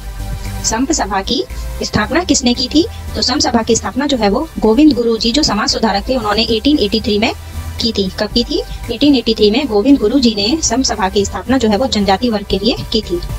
नेक्स्ट क्वेश्चन गोविंद गुरु का जन्म किस परिवार में हुआ था? गोविंद गुरु का जन्म किस परिवार में हुआ था? आपको कुछ याद आया होगा? जिस जिस बच्चे ने लास्ट ईयर जो रीट का एग्ज़ाम दिया था, उसमें ये क्वेश्चन आया हुआ था कि गोविंद गुरु जी का जन्म जो है वो किस परिवार में हुआ था? तो उसका राइट आंसर था, गोविंद गुरु का जन्म जो है वो बंजारा परिवार में हुआ था। और आप ये भी याद रखिए कि उनका जन्म जो है वो डूंगरपुर में बासिया गाँव में हुआ था। नेक्स्ट क्वेश्चन गोविंद गुरु के अतिरिक्त किसने जनजाति वर्ग के लोगों में समाज सुधारक का कार्य किया? गोविंद गुरु जी ने तो जनजाति वर्ग में समाज सुधारक का कार्य तो किया था। इसके अलावा और कौन थे जिन्होंने उनका साथ दिया था? तो वो थे सुरजी भगत, गोविंद गुरु और सुरजी भगत। दोनों ने जनजाति वर्ग के लिए समाज सुधारक का कार्य किया था। नेक्स्ट क्वेश्चन राजस्थान में सती प्रथा पर सर्वप्रथम राजस्थान में सती प्रथा पर सर्वप्रथम जो रोक है वो कहाँ लगाई गई थी? यहाँ पर रोक आएगा कि राजस्थान में सती प्रथा पर सर्वप्रथम पाबंदी या रोक कहाँ लगाई गई थी? तो इसका राइट आंसर होगा बूंदी में 1822 में। कब लगाई गई थी सती प्रथा पर रोक बूंदी में 1822 को। नेक्स्ट क्वेश्चन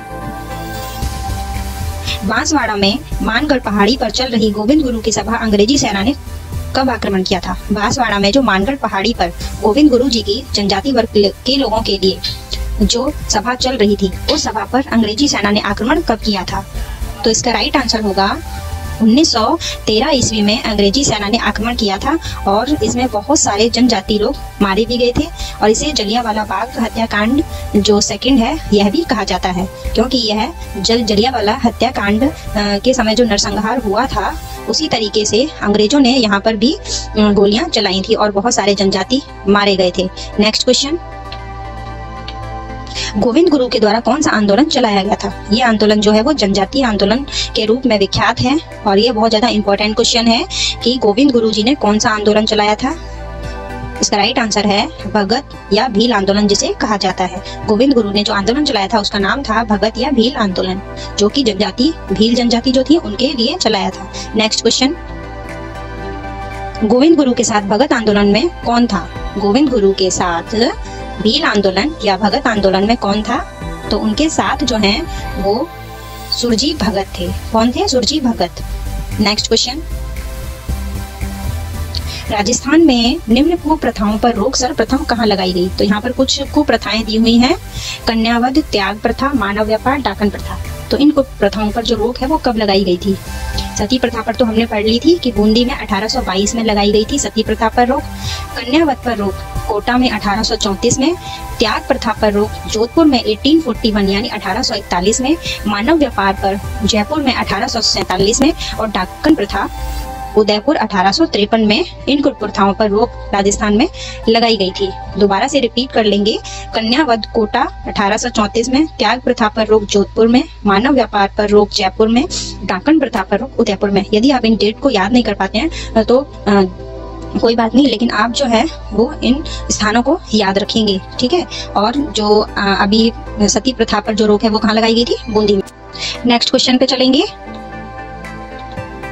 राजस्थान में उन्नीस में किसके प्रयासों से बाल विवाह पर रोक लगाई गई? राजस्थान में उन्नीस सौ उनतीस में किसके प्रयासों से बाल विवाह पर रोक लगाई गई? इसका राइट आंसर होगा हर विलास शारदा। हर विलास शारदा के प्रयासों से उन्नीस सौ उनतीस में बाल विवाह पर रोक लगाई गई थी। और राजस्थान में सॉरी भारत में सती प्रथा के विरुद्ध जो कानून है वो कब बना था? अठारह में। और विधवा पुनर्विवाह अधिनियम ये कब बना था? अठारह सौ छप्पन में। ठीक है? और राजस्थान में उन्नीस में बाल विवाह पर रोक लगाई गई थी। नेक्स्ट क्वेश्चन दलितों द्वार के क्षेत्र में किसने कार्य किए थे? दलितों द्वार के क्षेत्र में किसने कार्य किए थे? इसका सही आंसर होगा चाँद करण शारदा और उनकी पत्नी सुखता देवी। इन्होंने दलितों द्वार के क्षेत्र में कार्य किया था। नेक्स्ट क्वेश्चन अलवर के महाराजा जय सिंह ने अपना सलाहकार सलाहकार किसे नियुक्त किया? अलवर के महाराजा जयसिंह ने अपना सलाहकार किसे नियुक्त किया था? पंडित हरि नारायण शर्मा को अलवर के महाराजा जय सिंह ने अपना सलाहकार नियुक्त किया था। नेक्स्ट क्वेश्चन राजस्थान के तात्कालिक समाज सुधारकों के नाम लिखिए। इसमें हम, जो भी हमने अभी समाज सुधारक पढ़े हैं राजस्थान के, उन सभी को मैंने इसमें इंक्लूड कर लिया है ताकि आपको एक साथ लर्न करने में कोई परेशानी ना हो। तो राजस्थान के जो तात्कालिक समाज सुधारक थे, वो कौन है? चांदकरण शारदा और उनकी पत्नी सुखदा देवी। ठीक है ना? जिन्होंने दलितों द्वार के क्षेत्र में कार्य किया था। और अलवर में पंडित हरि नारायण शर्मा, जिन्हें महाराजा जयसिंह ने अपना सलाहकार नियुक्त किया था, ठक्कर बापा, कुंवर मदन सिंह और मामा बालेश्वर दयाल। ये सभी समाज सुधारक जो है वो राजस्थान के तात्कालिक समाज सुधारक थे, ठीक है? तो ये जो चैप्टर है वो आपका कंप्लीट होता है। तो नेक्स्ट चैप्टर जो ट्वेंटी होगा आप इन्हें बार बार डिवाइस करिए और आप इन्हें अच्छे से समझ लीजिए। क्योंकि यदि आप इन्हें अच्छे से समझ जाएँगे तो जो नेक्स्ट क्लास होगी क्लास नाइन्थ उसे आपको समझने में परेशानी नहीं होगी। ऐसे ही हम धीरे धीरे करके क्लास टेंथ तक कंप्लीट कर लेंगे। स्टार्ट करेंगे चैप्टर नंबर ट्वेंटी भारत की अर्थव्यवस्था पर अंग्रेज़ी शासन का प्रभाव। फ्रेंड्स इस चैप्टर में केवल पंद्रह क्वेश्चन ही निकले हैं और क्योंकि ये जो चैप्टर है, वो बहुत छोटा है तो फिर भी हम इसे कर लेते हैं। क्योंकि मैं एक भी चैप्टर जो है, वो छोड़ना नहीं चाहती हूँ जिससे आपका थोड़ा सा भी नुकसान ना हो। तो चलिए स्टार्ट करते हैं। Question number one Vasco da Gama Bharat कब आया था? वास्को डिगामा भारत कब आया था? तो इसका सही जवाब होगा चौदह सौ अट्ठानवे ईस्वी में भारत आया था वास्को डिगामा और वह पंद्रहवीं सदी थी उस टाइम ठीक है? वास्को डिगामा पंद्रहवीं सदी के बीच चौदह सौ अट्ठानवे में भारत आया था। नेक्स्ट क्वेश्चन अंग्रेज़ कंपनी हिंदुस्तान के साथ व्यापार करने वाली सबसे बड़ी यूरोपीय कंपनी कब बनी अंग्रेज़ कंपनी, जो ईस्ट इंडिया कंपनी थी, वह हिंदुस्तान के साथ व्यापार करने वाली सबसे बड़ी यूरोपीय कंपनी कब बन गई थी? इसका सही जवाब होगा अठारहवीं सदी में। ईस्ट इंडिया कंपनी जो थी, वो सोलह सौ ईस्वी में भारत आई थी व्यापार करने के उद्देश्य से, लेकिन धीरे धीरे उसने राजनीतिक हस्तक्षेप करना प्रारंभ कर दिया था और वह अठारहवीं सदी तक आते आते यह यूरोपीय कंपनी बन गई थी, जो कि भारत में, और इसने बहुत सारे जगहों पर भारत के अपना कब्जा कर लिया था। यहाँ तक कि इसने सबसे पहले बम्बई को सॉरी सबसे पहले इसने पश्चिमी बंगाल को आ, अपना क्षेत्र बनाया था। उसके बाद मद्रास और फिर बम्बई और पूरे भारत को अपने कब्जे में ले लिया था। नेक्स्ट क्वेश्चन 1717 ईस्वी में किस मुगल सम्राट ने अंग्रेज़ कंपनी को फरमान दिया था? 1717 ईस्वी में किस मुगल सम्राट ने अंग्रेज़ कंपनी को फरमान दिया था कि वह व्यापार कर सकती है? तो फरूख शियर, जो मुगल सम्राट फरूख शियर थे, उन्होंने अंग्रेज़ कंपनी को 1717 ईस्वी में फरमान दिया था कि वह भारत में व्यापार कर सकती है। नेक्स्ट क्वेश्चन कंपनी के गवर्नर को मीर कासिम ने पत्र कब लिखा था? कंपनी के गवर्नर को मीर कासिम ने पत्र कब लिखा था? तो इसका राइट आंसर होगा सोलह ईस्वी में। कब लिखा था? सोलह ईस्वी में। नेक्स्ट क्वेश्चन ब्रिटिश शासन के आर्थिक परिणामों की आलोचना किसने की? ब्रिटिश शासन के आर्थिक परिणामों की आलोचना किसने की? तथा संपत्ति के निकास का सबसे पहले विरोध किसने किया था? कौन थे ऐसे जिन्होंने ब्रिटिश शासन के जो आर्थिक परिणाम थे, उनकी आलोचना भी की थी और जो भारत से संपत्ति का निकास हो रहा था, उसका विरोध सबसे पहले किया था? तो वो थे दादा भाई नौरोजी। कौन थे? दादा भाई नौरोजी। नेक्स्ट क्वेश्चन पर चलेंगे। पार्लियामेंट में कुछ खास कपड़ों को छोड़कर बाकी के इस्तेमाल पर रोक कब लगाई गई? पार्लियामेंट में कुछ खास कपड़ों को छोड़कर बाकी के इस्तेमाल पर रोक कब लगाई गई थी? इसका राइट आंसर है 1700 ईस्वी में लगाई गई थी और 1712 ईस्वी में। नेक्स्ट क्वेश्चन जूट उद्योग की स्थापना कहाँ की गई थी? जूट उद्योग की स्थापना कहाँ की गई थी? तो इसका राइट आंसर होगा, बंगाल में जूट उद्योग की स्थापना की गई थी। नेक्स्ट क्वेश्चन ये क्वेश्चंस जो हैं, ये उस टाइम के हैं जब भारत की अर्थव्यवस्था पर अंग्रेज़ी शासन का प्रभाव पड़ रहा था। तो क्वेश्चन नंबर एट है, बागान उद्योगों के अंतर्गत किनका विकास किया गया था? बागान उद्योगों के अंतर्गत किनका विकास किया गया था? तो इसका राइट आंसर होगा, चाय, कहवा व नील उद्योग। चाय, कहवा व नील उद्योग, इनका विकास जो है वो किया गया था। नेक्स्ट क्वेश्चन पर चलेंगे। इंग्लैंड में औद्योगिक क्रांति का सूत्रपात कब हुआ? इंग्लैंड में औद्योगिक क्रांति का सूत्रपात कब हुआ था? तो इसका राइट आंसर है 18वीं सदी में यूरोप में विशेषकर इंग्लैंड में औद्योगिक क्रांति का सूत्रपात हुआ था। नेक्स्ट क्वेश्चन करेंगे। बम्बई व कलकत्ता किस दशक में व्यापारिक बंदरगाहों के रूप में विकसित हुए? बम्बई व कलकत्ता किस दशक में व्यापारिक बंदरगाहों के रूप में विकसित हुए थे? तो इसका राइट आंसर होगा 1780 के दशक में बम्बई व कलकत्ता व्यापारिक बंदरगाहों के रूप में उभर कर सामने आए थे। कौन कौन से थे वो? बम्बई और कलकत्ता, जो कि व्यापार की दृष्टि से बंदरगाह के रूप में विकसित हुए थे। नेक्स्ट क्वेश्चन सत्रहवीं शताब्दी का सबसे महत्वपूर्ण बंदरगाह कौन सा था? सत्रहवीं शताब्दी में जो महत्वपूर्ण बंदरगाह था, उसका नाम बताना है। तो वो बंदरगाह था मछली पट्टनम वो बंदरगाह था मछली पट्टनम नेक्स्ट क्वेश्चन अंग्रेज़ों द्वारा भारत को लूटने का सीधा तरीका क्या था? अंग्रेज़ों द्वारा भारत को लूटने का सीधा तरीका क्या था? तो ये तो आपको इतने सारे क्वेश्चंस आपने अटेम्प्ट कर लिए तो आपको ये मालूम हो जाना चाहिए कि अंग्रेज़ जो थे, वो भारत को लूटने का सीधा तरीका क्या था? माल गुजारी ठीक है? हर माल पर वो जो टैक्स होता है, वो लेते थे। इस तरीके से धीरे धीरे उन्होंने लूटना प्रारंभ कर दिया था और सोने की चिड़िया जो थी, भारत कही जाती थी, उसे उन्होंने बिल्कुल खाली कर दिया था। नेक्स्ट क्वेश्चन अंग्रेज़ किस रूप में प्रत्यक्ष लूटमार करते थे? अंग्रेज़ किस रूप में प्रत्यक्ष लूटमार करते थे? तो अंग्रेज़ जो थे, वो डायरेक्टली लूट मार करते थे व्यापार के नाम पर। वो कहते थे कि आप जो है वो कच्चा माल हमें दे दीजिए और हम इसे इंग्लैंड में ले जाकर वहाँ पर इसे जो पक्का माल है वो बना देंगे। क्योंकि आपके पास इतनी मशीन वगैरह, इतनी टेक्निक इतनी अच्छी नहीं है तो हमारे जो भारतीय थे, वो बहुत ही भोले और सीधे साधे हुआ करते थे तो वो ऐसे डील कर लिया करते थे। लेकिन आज का जो भारतीय है, वो अगर इस टाइम अंग्रेज़ होते तो उनके इस जालसाजी में वो फंसने वाले नहीं है। तो उस टाइम के जो भारतीय थे, वो बहुत सीधे हुआ करते थे। अंग्रेज़ कहते थे कि हम सिर्फ़ व्यापार करेंगे आपके साथ और वो इस तरीके से धीरे धीरे उन्हें लूटना प्रारंभ कर दिया था और अंत तक वो उन्हें लूटते गए। नेक्स्ट क्वेश्चन किस नीति के तहत इंग्लैंड में भारत के बने सूती वस्त्रों के आयात पर भारी शुल्क लगाया गया? जबकि भारत द्वारा इंग्लैंड से आयात पर कोई शुल्क नहीं था। देखिए, इस क्वेश्चन में है कि किस नीति के तहत ऐसी कौन सी नीति थी जिसमें इंग्लैंड में भारत के बने सूती वस्त्र, इनके आयात पर तो बहुत ज़्यादा शुल्क लगता था। ठीक है? मतलब भारत का ही कच्चा कपड़ा जो था, कच्चा माल था, वो इंग्लैंड में जाता था, लेकिन वापस भारत में अगर बनकर आ रहा है तो उस पर तो भारी शुल्क लगाया जा रहा है। लेकिन जो इंडिया में, इंग्लैंड से जो आयात है, उस पर कोई भी शुल्क नहीं था। यानी कि इंडिया से जो बाहर जा रहा था, उस पर कोई शुल्क नहीं था। तो वो जो नीति थी, वो एक तरफा मुक्त व्यापार नीति कहलाती थी। क्योंकि जो अंग्रेज़ थे इंग्लैंड से जो माल आ रहा है, उस पर तो इंडियंस को बहुत ज़्यादा टैक्स देना पड़ेगा, जब वो माल आ पाता था। लेकिन इंडिया से जो माल जाता था, उस पर कोई भी शुल्क नहीं लगाया जाता था। तो इसे एक तरफा मुक्त व्यापार नीति कहते थे। क्वेश्चन नंबर फिफ्टीन ये इस वीडियो का लास्ट क्वेश्चन है कि ईस्ट इंडिया इंडियन मैन किसे कहा जाता था? ईस्ट इंडियन मैन किसे कहा जाता था? इसका राइट आंसर होगा, भारत के व्यापार करने के लिए अंग्रेज़ों द्वारा जो बड़े बड़े जहाजों का इस्तेमाल किया जाता था, उसे ईस्ट इंडियन मैन कहा जाता था। ब्रिटिश कालीन भारतीय शासन व्यवस्था।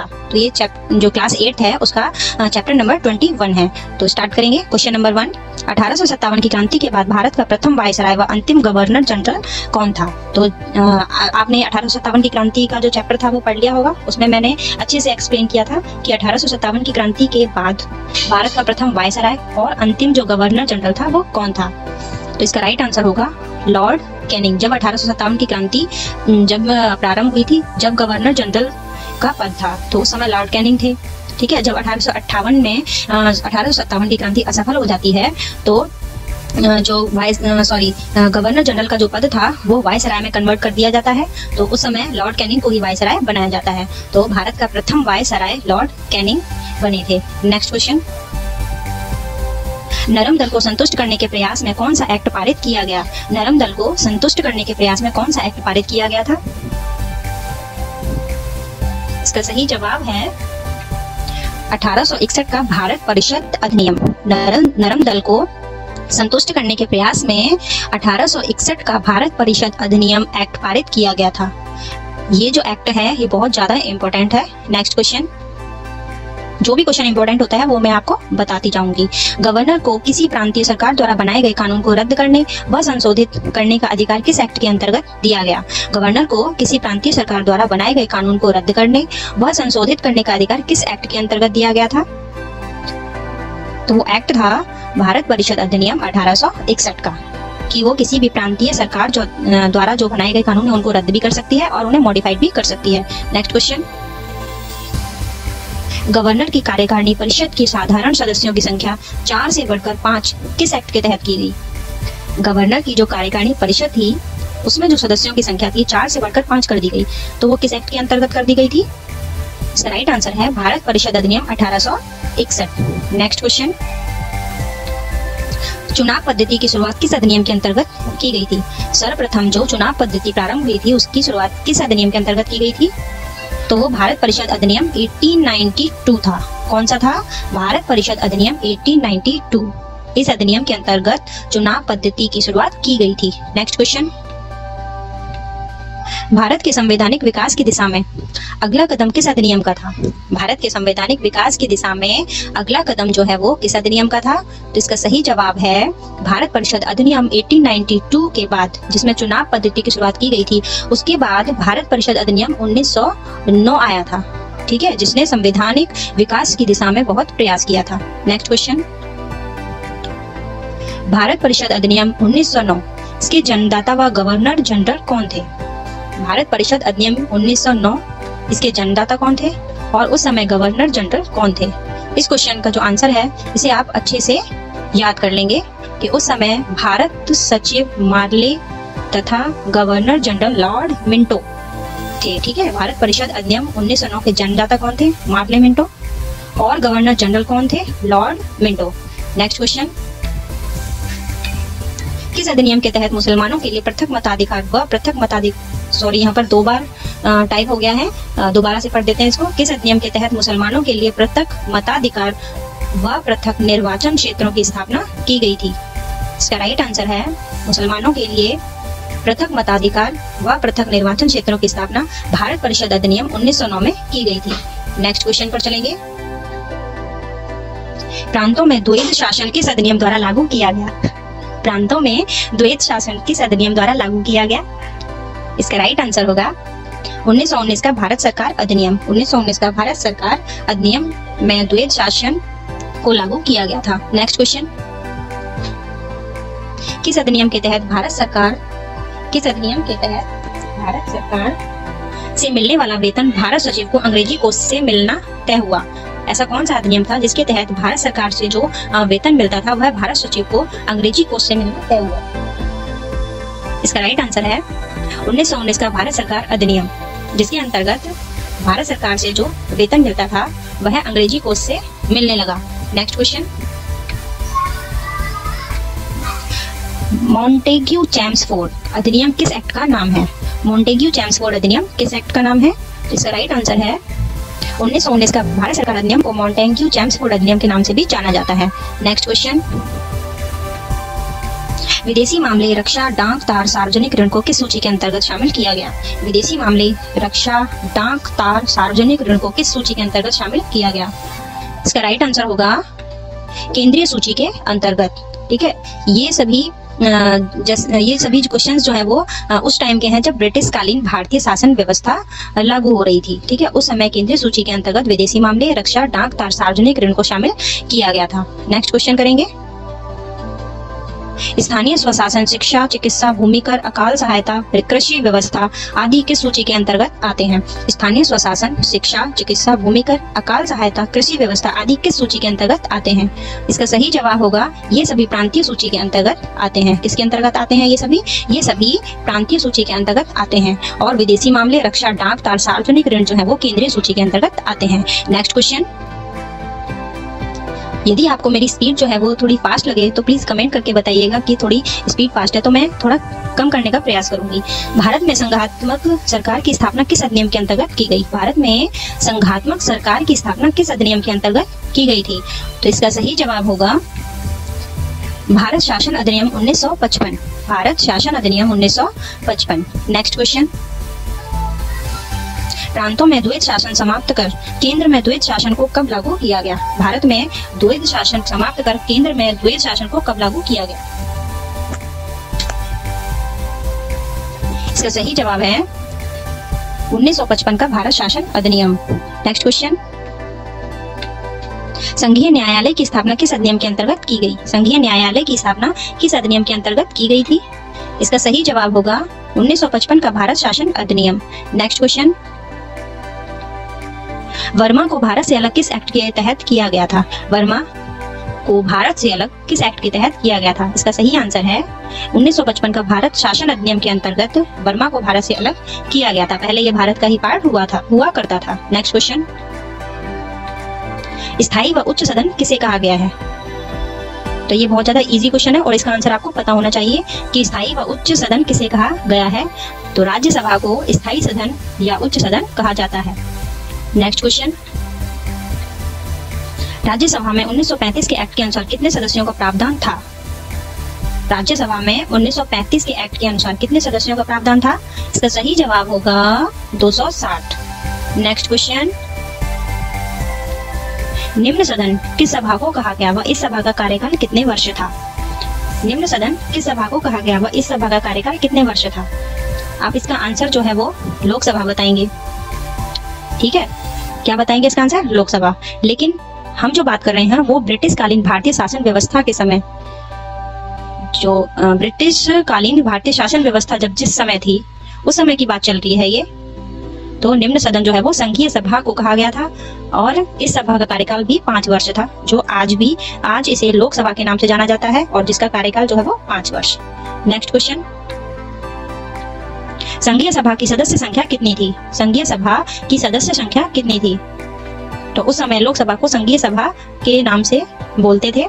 तो संघीय सभा के सदस्यों की संख्या जो थी, वो 375 थी और राज्य सभा के जो सदस्य थे, वो 260 थे।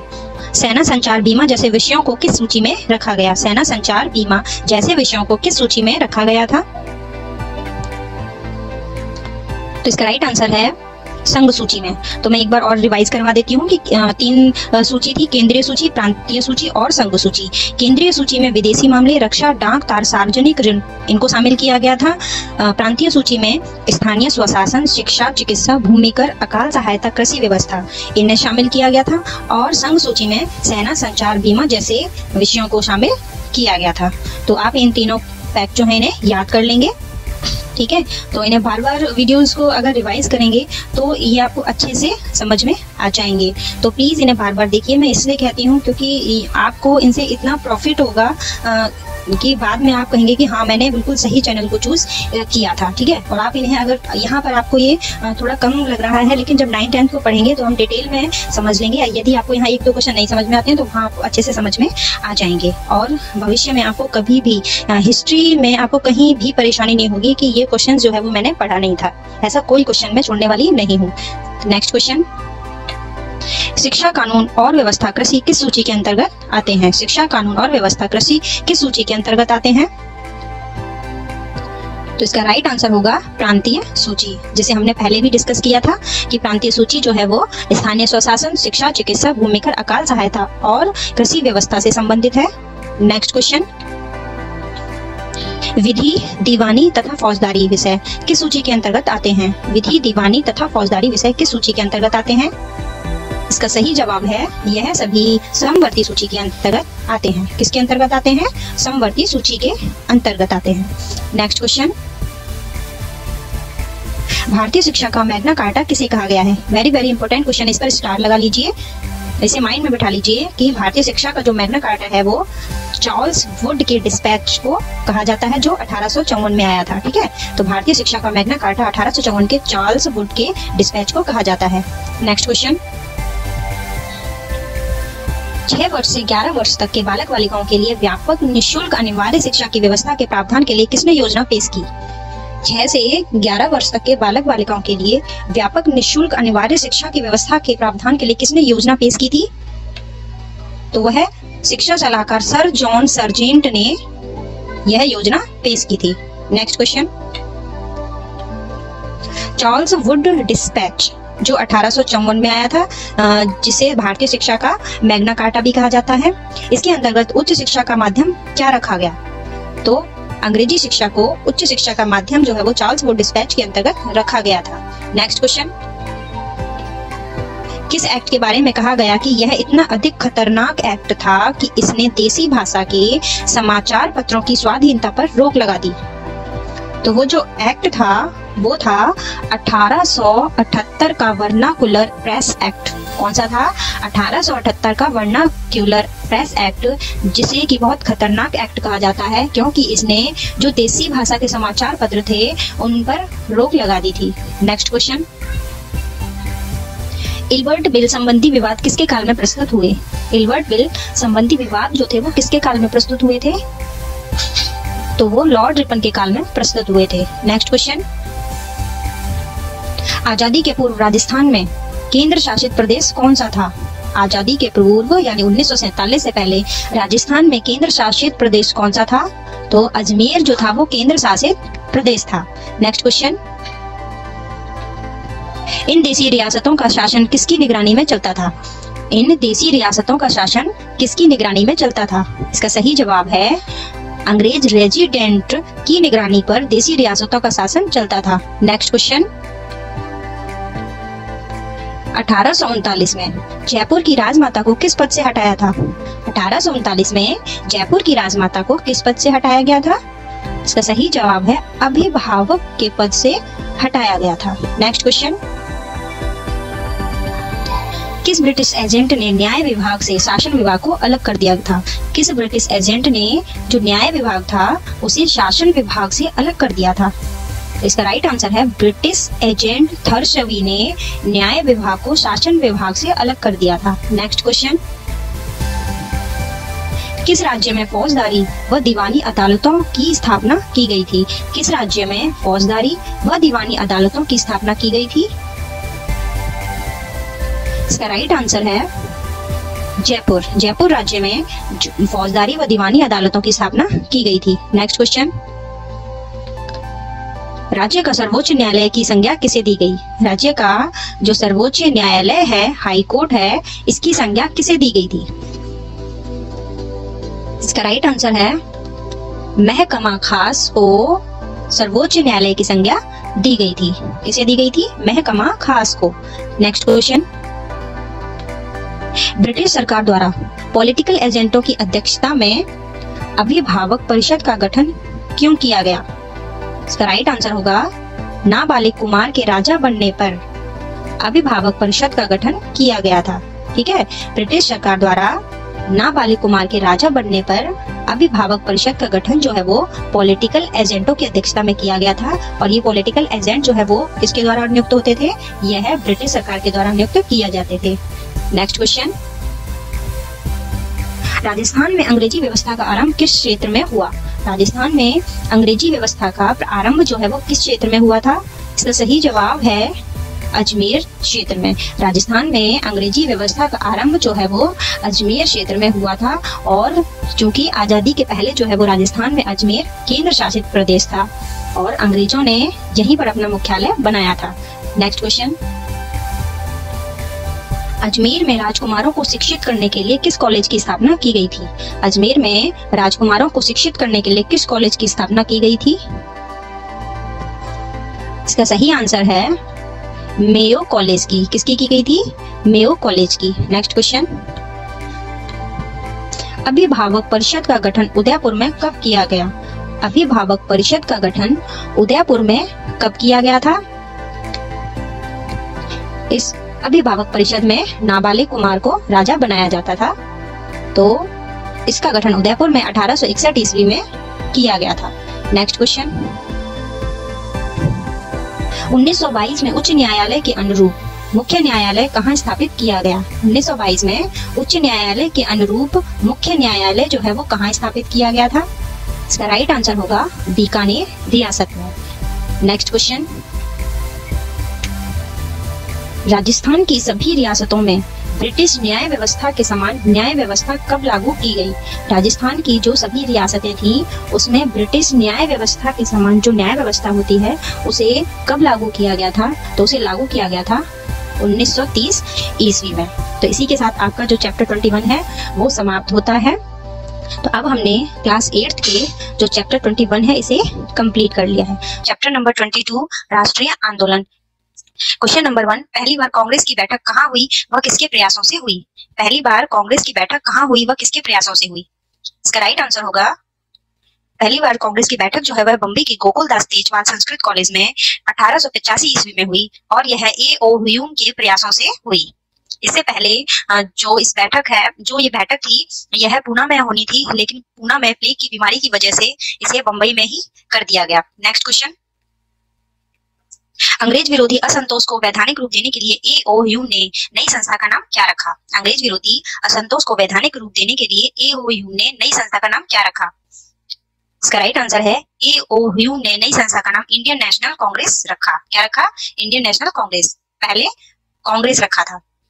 नेक्स्ट क्वेश्चन बंबई में भारतीय राष्ट्रीय कांग्रेस का जन्म कब हुआ? बंबई में भारतीय राष्ट्रीय कांग्रेस का जन्म कब हुआ? इसका राइट आंसर है 28 दिसंबर 1885 को। ये डेट आप याद रखेंगे कि 28 दिसंबर 1885 को भारतीय राष्ट्रीय कांग्रेस का जन्म हुआ था। और, और किसके प्रयासों से हुआ था? यह ए ओ ह्यूम के प्रयासों से हुआ था और बंबई के गोकुल दास तेजपाल संस्कृत कॉलेज में। इस लाइन को आप याद रखेंगे क्योंकि ये कई बार क्वेश्चन आ भी चुका है एग्ज़ाम में। नेक्स्ट क्वेश्चन भारतीय राष्ट्रीय कांग्रेस के सबसे पहले अध्यक्ष कौन थे? भारतीय राष्ट्रीय कांग्रेस के प्रथम अध्यक्ष कौन थे? इसका सही जवाब है बंगाल के व्योमेश चंद्र बैनर्जी। बंगाल के व्योमेश चंद्र बैनर्जी को राष्ट्रीय, भारतीय राष्ट्रीय कांग्रेस का प्रथम अध्यक्ष बनाया गया था। ए ओ ह्यूम जो है वह कभी भी राष्ट्रीय कांग्रेस के अध्यक्ष नहीं बने। नेक्स्ट क्वेश्चन भारतीय राष्ट्रीय कांग्रेस के जनरल सेक्रेटरी के किसे बनाया गया? भारतीय राष्ट्रीय कांग्रेस के जनरल सेक्रेटरी किसे बनाया गया? इसका सही आंसर है ए ओ ह्यूम ए ओ ह्यूम को भारतीय राष्ट्रीय कांग्रेस के जनरल सेक्रेटरी बनाया गया। नेक्स्ट क्वेश्चन मराठा व केसरी लेख किसने लिखे? मराठा व केसरी लेख किसने लिखे? इसका सही आंसर होगा, बाल गंगाधर तिलक ने मराठा और केसरी लेख लिखे थे। नेक्स्ट क्वेश्चन उग्रवाद का जनक किसे कहा जाता है? उग्रवाद का जनक किसे कहा जाता है? तो बाल गंगाधर तिलक को ही उग्रवाद का जनक कहा जाता है। नेक्स्ट क्वेश्चन प्लेग कमिश्नर की हत्या किसके द्वारा की गई थी? प्लेग कमिश्नर की हत्या किसके द्वारा की गई थी? इसका सही आंसर है, चापेकर बंधुओं के द्वारा प्लेग कमिश्नर की हत्या कर दी गई थी। किसके द्वारा की गई थी? चापेकर बंधुओं के द्वारा। नेक्स्ट क्वेश्चन तिलक ने देश में नई जागृति किस माध्यम से पैदा की थी? तिलक ने, बाल गंगाधर तिलक ने देश में नई जागृति किस माध्यम से पैदा की थी? इसका सही जवाब है, शिवाजी व गणपति उत्सवों के द्वारा बाल गंगाधर तिलक ने देश में नई जागृति पैदा की थी। नेक्स्ट क्वेश्चन मराठा दर्पण व केसरी क्या है? मराठा दर्पण व केसरी क्या है? इसका सही जवाब है, बाल गंगाधर तिलक द्वारा जो छापे गए अखबार थे, उनका नाम उन्होंने मराठा दर्पण और केसरी रखा था। तो इन दोनों अखबारों के नाम जो है, इन्हें आप याद रखिए, क्योंकि एग्ज़ाम में ये पूछ लिए जाते हैं। नेक्स्ट क्वेश्चन आपका कोई भी एग्ज़ाम है, जो भी टेट का एग्ज़ाम है, वहाँ पर ये बहुत ज़्यादा बेनिफिशियल है, ये हर एक क्वेश्चन क्योंकि ये हर क्वेश्चन जो है, वह आरबीएससी की बुक से निकाल कर बनाए गए हैं। तो क्वेश्चन नंबर इलेवन है, बाल गंगाधर तिलक ने जेल से छूटने के बाद किस आंदोलन का संचालन किया था? बाल गंगाधर तिलक ने जेल से छूटने के बाद किस आंदोलन का संचालन किया था? इसका सही जवाब होगा, होम रूल आंदोलन। किसका किया था? होम रूल आंदोलन। नेक्स्ट क्वेश्चन लखनऊ समझौता कब संपन्न हुआ था? लखनऊ समझौता कब संपन्न हुआ था? तो लखनऊ समझौता जो है, वह 1916 में संपन्न हुआ था। कब हुआ था? 1916 में। नेक्स्ट क्वेश्चन बंगाल का विभाजन कब किया गया था? बंगाल का विभाजन कब किया गया था? इसका सही आंसर है 1905 में बंगाल का विभाजन कर दिया गया था, जिसे बंग भंग आंदोलन भी कहा जाता है। नेक्स्ट क्वेश्चन लाल बाल पाल किस दल के नेता थे? लाल बाल पाल किस दल के नेता थे? तो इसका सही आंसर होगा लाल बाल पाल जो थे वह गरम दल के नेता थे। यहाँ पर लाल से तात्पर्य है आ, लाला लाजपत राय और बाल से बाल गंगाधर तिलक और पाल से विपिन चंद्र पाल। नेक्स्ट क्वेश्चन कौन सा गरम दल का नेता बंगाल की देन है? कौन सा गरम दल का नेता बंगाल की देन है? जिसका सही जवाब होगा बंगाल के विपिन चंद्रपाल जो है, वह गरम दल के नेता थे। नेक्स्ट क्वेश्चन स्वराज्य मेरा जन्म अधिकार है, यह कथन किसके हैं? स्वराज्य मेरा जन्म अधिकार है, यह कथन किसके हैं? यह बहुत फ़ेमस लाइन है। और इसका जवाब आपको पता होना चाहिए कि स्वराज्य मेरा जन्म सिद्ध अधिकार जो है, वह बाल गंगाधर तिलक के कथन है। नेक्स्ट क्वेश्चन सरकार द्वारा बंगाल विभाजन को निरस्त करने की घोषणा कब की गई थी? सरकार द्वारा बंगाल विभाजन को निरस्त करने की घोषणा कब की गई थी? इसका राइट आंसर है दिसंबर 1911 को सरकार द्वारा बंगाल विभाजन को निरस्त करने की घोषणा की गई थी। नेक्स्ट क्वेश्चन प्रथम महायुद्ध कब शुरू हुआ? प्रथम महायुद्ध जिसे विश्व युद्ध कहा जाता है, वह कब शुरू हुआ था? तो इसका राइट आंसर होगा 1914 में यूरोप में प्रथम महायुद्ध जो है, वह शुरू हुआ था। नेक्स्ट क्वेश्चन किस एक्ट के तहत सरकार का विरोध करने पर किसी भी व्यक्ति को लंबे समय तक कारावास दिया जा सकता था। किस एक्ट के तहत सरकार का विरोध करने पर किसी भी व्यक्ति को लंबे समय तक कारावास दिया जा सकता था? तो इसका राइट आंसर है रोलेक्ट एक्ट जो 1919 में आया था। इस एक्ट के तहत सरकार का जो भी विरोध करता था, उस व्यक्ति को बहुत लंबे टाइम के लिए जेल में डाल दिया जाता था। नेक्स्ट क्वेश्चन जलियावाला बाग अमृतसर में जो हुआ था जलियावाला बाग जो है जो अमृतसर में है उसमें किस एक्ट के विरोध में सभा का आयोजन किया गया था? इसका राइट आंसर है रोलेक्ट एक्ट 1919 जो रोलेक्ट एक्ट आया था उसका आ, सामना करने के लिए या उसने जो नीति अपनाई थी कि किसी को भी जेल में डाल दिया जाएगा तो इसके तहत इस विरोध में सभा का आयोजन किया गया था जो कि जलियावाला बाग जो अमृतसर में है वहाँ किया गया था। नेक्स्ट क्वेश्चन जलियावाला बाग हत्याकांड कब हुआ व गोली चलाने का आदेश किसने दिया? ये बहुत ज़्यादा इंपॉर्टेंट क्वेश्चन है इसे आप नोट कर ले। जलियावाला बाग हत्याकांड जो है, वह तेरह अप्रैल उन्नीस सौ उन्नीस को हुआ था। यह नरसंहार कब हुआ था? तेरह अप्रैल उन्नीस सौ उन्नीस को। और इसमें गोली चलाने का आदेश जो है, वह जनरल डायर ने दिया था। नेक्स्ट क्वेश्चन असहयोग आंदोलन के नेता कौन थे? असहयोग आंदोलन के नेता कौन थे? तो असहयोग आंदोलन के नेता जो है, वह महात्मा गांधी थे, जिन्होंने असहयोग आंदोलन 1920 में प्रारंभ किया था। यह क्यों किया था महात्मा गांधी ने? क्योंकि जब रोलेक्ट एक्ट के तहत जलियावाला बाग में बहुत सारे लोगों का, लोगों को मार दिया गया था तो इस वजह से महात्मा गांधी ने असहयोग आंदोलन प्रारंभ किया था कि वह अंग्रेज़ों का किसी भी तरीके से ब्रिटिशों का सहयोग नहीं करेंगे। नेक्स्ट क्वेश्चन साइमन कमीशन कब पहुँचा था? साइमन कमीशन कब पहुँचा था? तो साइमन कमीशन जो है, वह तीन फरवरी 1928 को भारत पहुँचा था। नेक्स्ट क्वेश्चन साइमन कमीशन की सदस्य संख्या कितनी थी? साइमन कमीशन की सदस्य संख्या कितनी थी?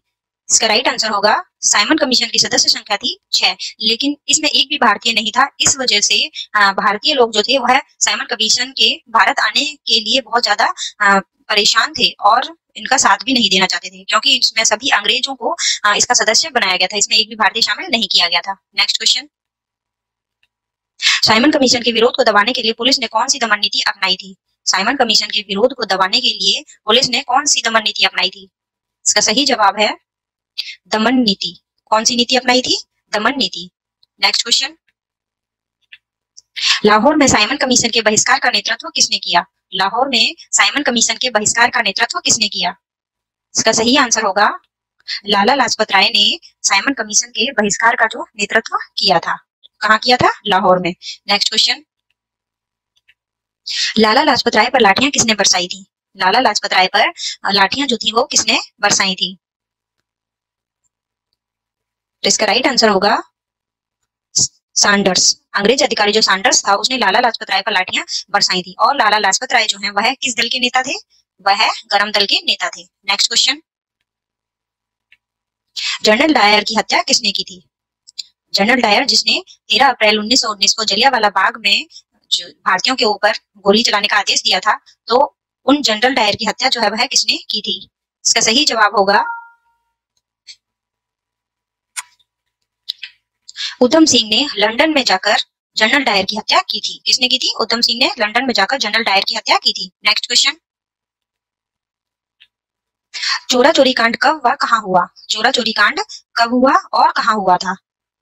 इसका राइट आंसर है चोरा चोरी कांड जो है वह 1922 में गोरखपुर ज़िले में हुआ था। कहा हुआ था? गोरखपुर ज़िले में हुआ था। तो इस, इसमें क्या हुआ था कि कुछ भारतीयों ने पुलिस चौकी में जाके चोरी से वहाँ आग लगा दी थी और वहाँ सारा धन लूट लिया था। और इस वजह से ही गांधी जी ने अपना असहयोग आंदोलन वापस लिया था, क्योंकि इसमें बहुत सारे अंग्रेज़ जो थे वो मारे गए थे। और गांधी जी का कहना था कि कोई भी कार्य या फिर आंदोलन किया जाता है तो उसके लिए हिंसा जो है वह सही नहीं है, इसलिए उन्होंने असहयोग आंदोलन वापस लिया था। गांधी जी का असहयोग आंदोलन वापस लेने का मुख्य कारण क्या था? तो इसका सही आंसर है, आंदोलनकारियों द्वारा पुलिस चौकी में यदि आग लगा दी गई थी तो इस वजह से पुलिस के सिपाही जो थे, वह बहुत सारे जल गए थे। इसी वजह से गांधी जी ने असहयोग आंदोलन वापस लिया था। नेक्स्ट क्वेश्चन भगत सिंह सुखदेव और राजगुरु को फांसी की सजा कब दी गई थी? भगत सिंह, सुखदेव और राजगुरु को फांसी की सजा कब दी गई थी? इसका सही आंसर है 23 मार्च उन्नीस को भगत सिंह, सुखदेव और राजगुरु को फांसी की सजा दी गई थी। ये जो तेईस डेट है, ये बहुत ज़्यादा इंपॉर्टेंट है, क्योंकि इस तेईस डेट को बहुत सारे लोगों को कई शहीद भी हुए थे या फिर फांसी भी दी गई थी। जैसे तेईस मार्च उन्नीस सौ इकतीस को भगत सिंह सुखदेव और राजगुरु को फांसी दी गई थी। ऐसे ही तेईस मार्च को एक और क्रांतिकारी आएँगे, हेमू कालडी। तो उनका जन्म भी हुआ था तेईस मार्च को।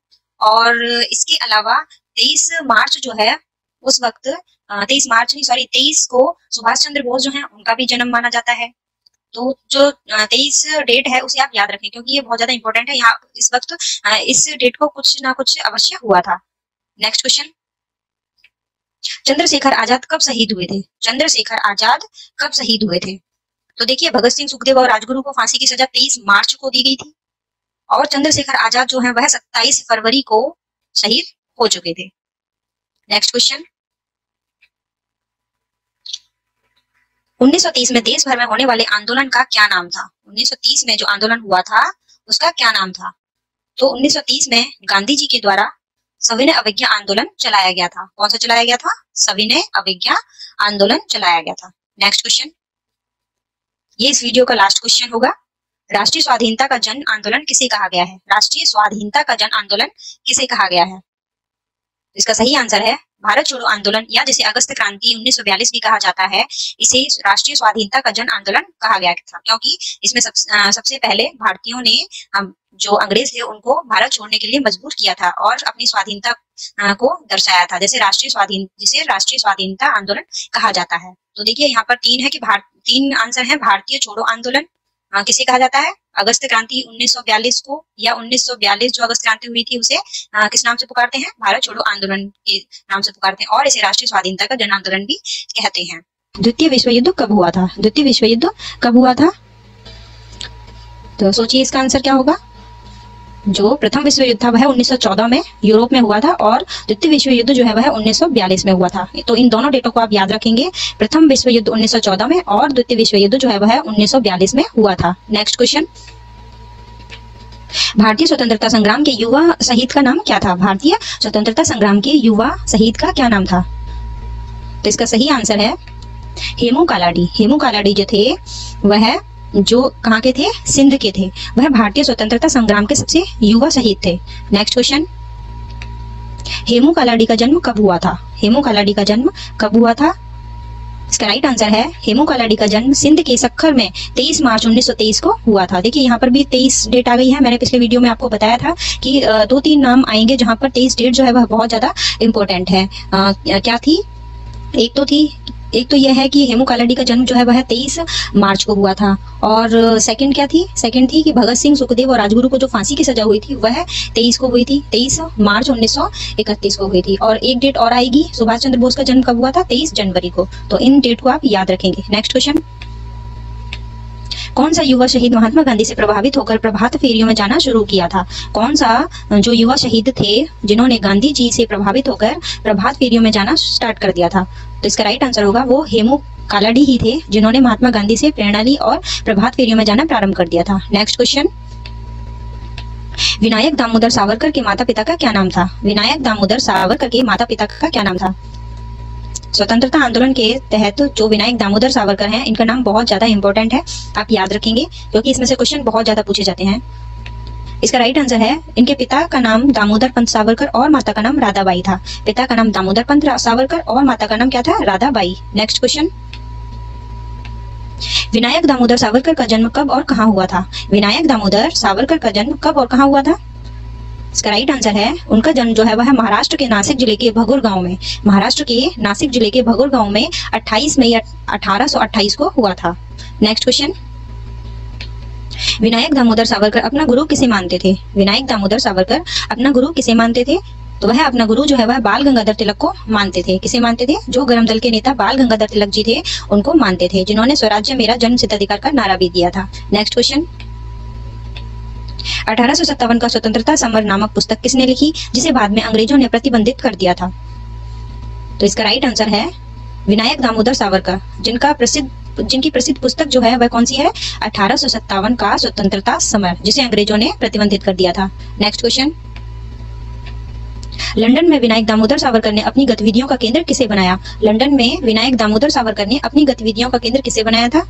तो विनायक दामोदर सावरकर ने श्याम कृष्ण वर्मा के जो इंडिया हाउस हाउस था, उसे अपनी गतिविधियों का केंद्र बनाया था। किसे बनाया था? ये बहुत ज़्यादा इंपॉर्टेंट क्वेश्चन है। कि श्याम कृष्ण वर्मा का जो इंडिया हाउस था, उसे विनायक दामोदर सावरकर ने अपनी गतिविधियों का केंद्र बनाया था। नेक्स्ट क्वेश्चन विनायक दामोदर सावरकर को ब्रिटिश जेल में रखने के बाद किस जलियान से बंबई भेजा गया था? विनायक दामोदर सावरकर को जब अंग्रेज़ों ने पकड़ लिया था और उन्हें जेल में रख दिया था, उसके बाद उन्हें जलियान से बंबई भेजा गया था। तो उस जलियान का क्या नाम था? उस जलियान का नाम था मारिया जलियान। इसे आप याद रखें।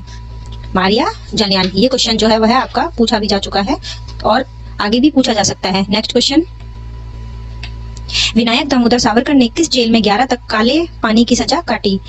11 दिन तक। विनायक दामोदर सावरकर ने किस जेल में 11 दिन तक काले पानी की सजा काटी थी? इसका राइट आंसर होगा अंडमान की जो सेलुलर जेल है, उसमें विनायक दामोदर सावरकर ने 11 दिन तक काले पानी की सजा काटी थी। और अभी अभी मैंने आपसे क्वेश्चन पूछा था कि उन्हें किस जलियान से ले जाया गया था। तो चलिए बताइए इसका आंसर तो उन्हें जिस जलियान से ले जाया गया था, उसका नाम था मारिया जलियान। नेक्स्ट क्वेश्चन विनायक दामोदर सावरकर की मृत्यु कब हुई थी? विनायक दामोदर सावरकर की मृत्यु कब हुई थी? तो उनकी मृत्यु जो है, वह 26 फरवरी 1966 को हुई थी। कब हुई थी? 26 फरवरी 1966 को। और विनायक दामोदर जो थे, उनके सॉरी विनायक दामोदर सावरकर जो थे, उनका जन्म कब हुआ था? 28 मई 1828 को। और उनकी मृत्यु जो है, वह 26 फरवरी 1966 को हुई थी। नेक्स्ट क्वेश्चन सुभाष चंद्र बोस का जन्म कब हुआ था? सुभाष चंद्र बोस का जन्म कब हुआ था? तो सुभाष चंद्र बोस का जन्म जो है, वह तेईस जनवरी अठारह सौ सत्तानवे में हुआ था। नेक्स्ट क्वेश्चन सुभाष चंद्र बोस कितनी बार कांग्रेस के अध्यक्ष चुने गए? देखिए, ये बहुत ज़्यादा इंपॉर्टेंट क्वेश्चन है कि सुभाष चंद्र बोस जो है, वह कितनी बार कांग्रेस के अध्यक्ष चुने गए? जो क्वेश्चन मैं इंपॉर्टेंस बताती हूँ, उस पर आप स्टार लगा लीजिए, क्योंकि ये क्वेश्चन जो है, वह आपके एग्ज़ाम में आने की संभावना पूरी पूरी होती है। सुभाष चंद्र बोस को दो बार कांग्रेस के अध्यक्ष चुना गया था। नेक्स्ट क्वेश्चन आज़ाद हिंद फौज की कमान सुभाष चंद्र बोस ने कब संभाली थी? आज़ाद हिंद फौज की कमान जो है वह सुभाष चंद्र बोस ने कब संभाली थी?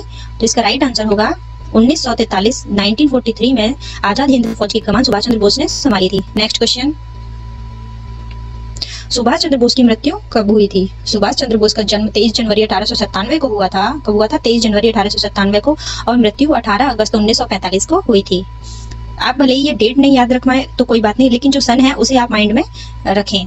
नेक्स्ट क्वेश्चन अंग्रेज़ों ने देश का विभाजन कब किया? अंग्रेज़ों ने देश का विभाजन कब किया था? इसका सही जवाब है 14 अगस्त उन्नीस को अंग्रेज़ों ने देश का विभाजन कर दिया था। भारत और पाकिस्तान दो भागों में बट गया था और 15 अगस्त उन्नीस को भारत को स्वतंत्र घोषित कर दिया गया था। नेक्स्ट क्वेश्चन बिचौलिया के किसानों को कितनी किस्म के कर देने पड़ते थे? बिचौलिया के जो किसान थे, उन्हें कितने किस्म के कर देने पड़ते थे? तो इसका राइट आंसर है, उन्हें चौरासी प्रकार के कर देने पड़ते थे। आपसे ऐसा सवाल पूछते हैं कि बिजोलिया के किसानों को कितने किस्म के कर देने पड़ते थे? तो आपका आंसर होगा, चौरासी प्रकार के जो कर थे, वह देने पड़ते थे। नेक्स्ट क्वेश्चन चलेंगे? नेक्स्ट क्वेश्चन है, किसके नेतृत्व में किसानों ने इसका विरोध किया था? किसके नेतृत्व में जो विजोलिया में चौरासी प्रकार के जो कर लिए जाते थे, उसका विरोध जो है, वह किसने किया था? तो उसका विरोध जो है वह 1913 में सीताराम दास ने किया था और उनके नेतृत्व में सभी किसानों ने किया था। किसने किया था? सीताराम दास ने। नेक्स्ट क्वेश्चन किसके नेतृत्व में किसानों ने बेगार करने से मना कर दिया था तथा कर भी नहीं दिए? किसके नेतृत्व में किसानों ने बेगार करने से मना कर दिया था तथा कर भी नहीं दिए थे? तो इसका राइट आंसर होगा 1916 में विजय सिंह पथिक व माणिक्य लाल वर्मा। इनके नेतृत्व में किसानों ने बेगार देने से मना कर दिया था और टैक्स भी नहीं दिए थे।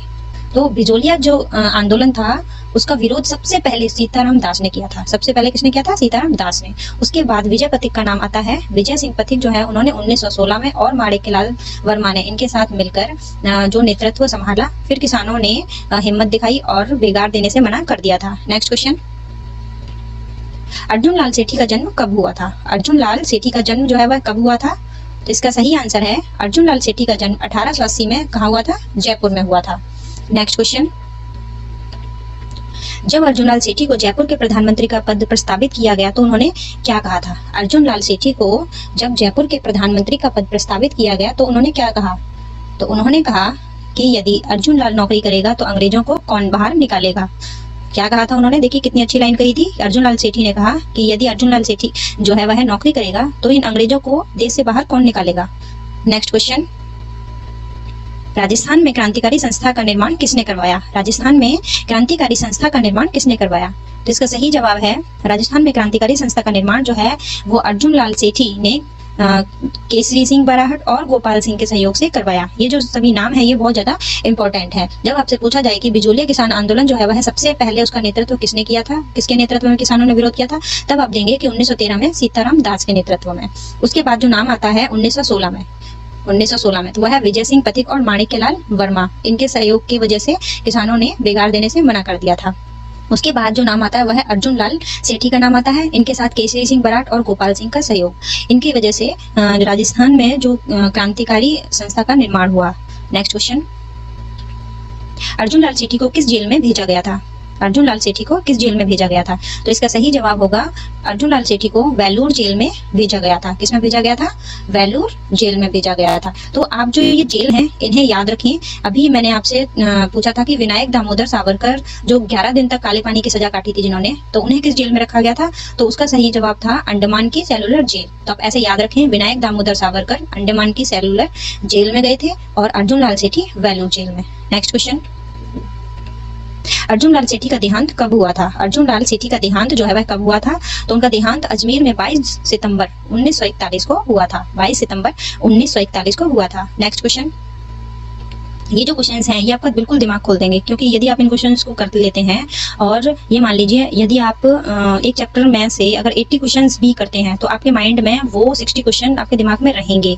और आपको देखिए एग्ज़ाम ये सिर्फ़ समझ पर आधारित आप इन्हें समझिए, और फिर इन्हें वीडियो बार बार देखिए, ये आपको अच्छे से याद हो जाएँगे, आपको पता ही नहीं चलेगा। और यदि आप ऐसा सोचते हैं कि आप इनमें से चैप्टर्स को छोड़ देंगे, और उसके बाद फिर हम ऐसी गाइड वगैरह इनसे पढ़ लेंगे तो देखिए सिलेक्शन जो है, वह गाइड नहीं करवाएगी। सिलेक्शन जो है, वह आपकी जो पर्टिकुलर जो चीज़ जिसके लिए बनी हुई है, जिसमें से एग्जामिनर जो है, वह एग्ज़ाम के लिए क्वेश्चंस निकालता है।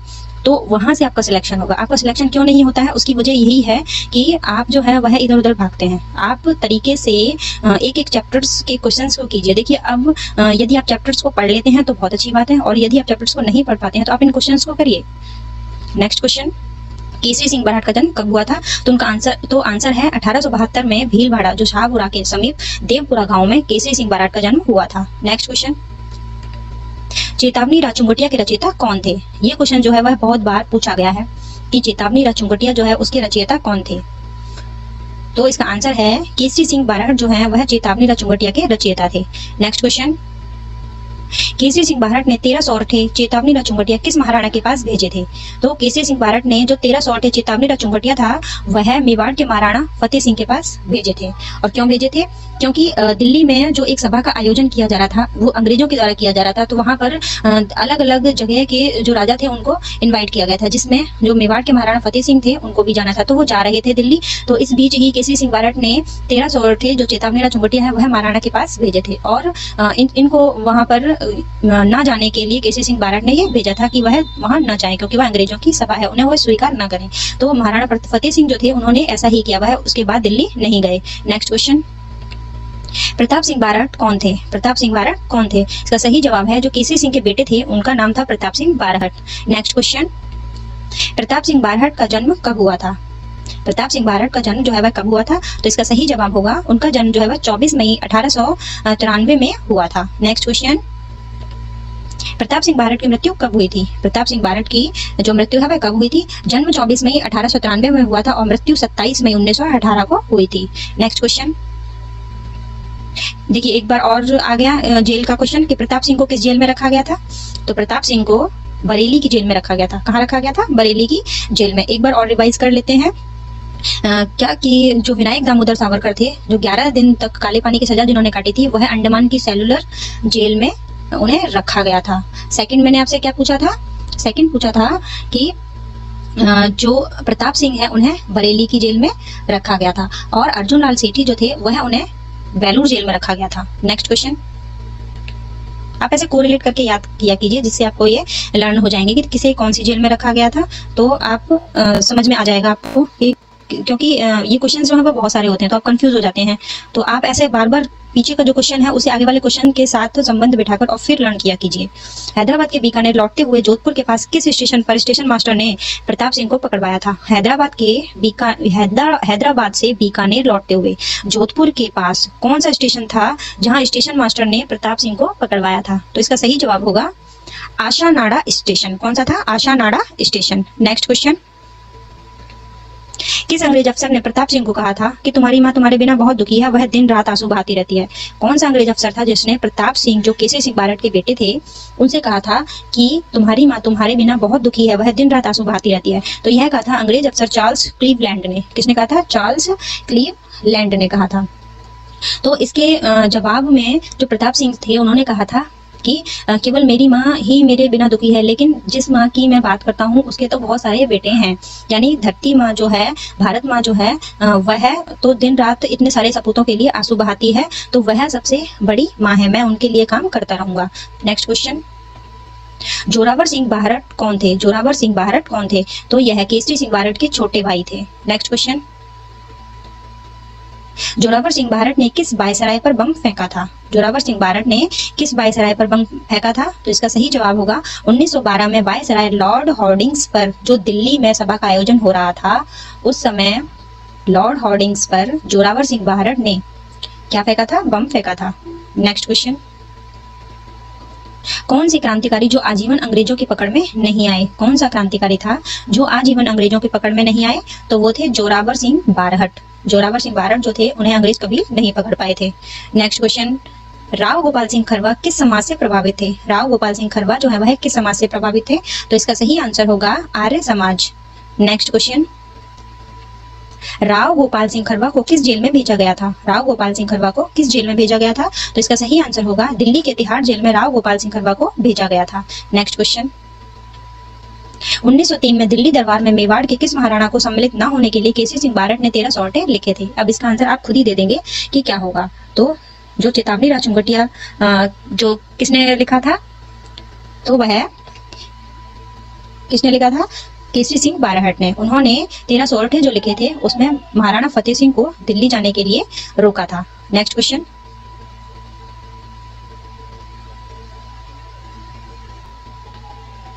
केसरी सिंह बारहट को किस जेल में भेजा गया था? तो इसका सही जवाब होगा, केसरी सिंह बारहट को हजारीबाग सेंट्रल जेल में भेजा गया था। किसमें भेजा गया था? हजारीबाग सेंट्रल जेल में भेजा गया था। स्टार्ट करेंगे चैप्टर नंबर ट्वेंटी थ्री, आज़ादी के बाद का भारत। क्वेश्चन नंबर वन है, आज़ादी से पूर्व भारत में कितनी रियासतें थी? आज़ादी से पहले भारत में कितनी रियासतें थी?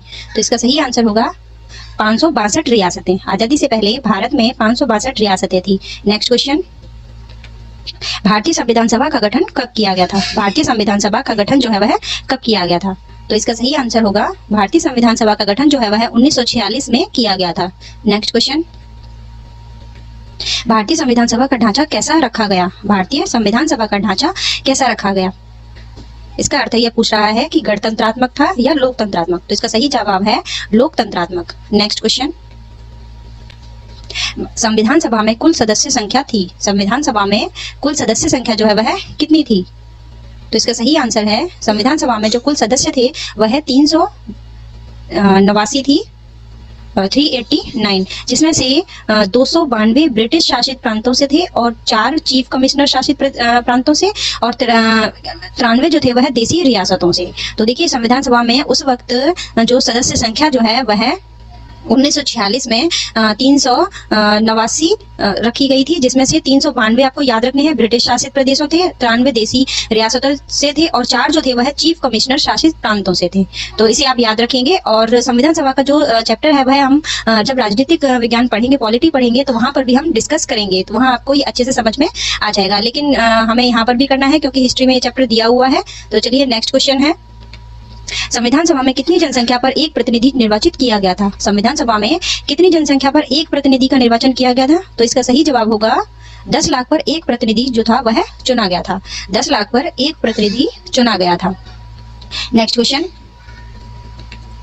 सर्वप्रथम कहाँ के शासक ने अपने प्रतिनिधि संविधान में भेजे? सबसे पहले कौन से शासक थे जिन्होंने अपने प्रतिनिधि जो है, वह संविधान में भेजे थे? तो इसका सही जवाब होगा बीकानेर के महाराजा शार्दुल सिंह जो थे, उन्होंने अपने प्रतिनिधि जो संविधान में सबसे पहले भेजे थे।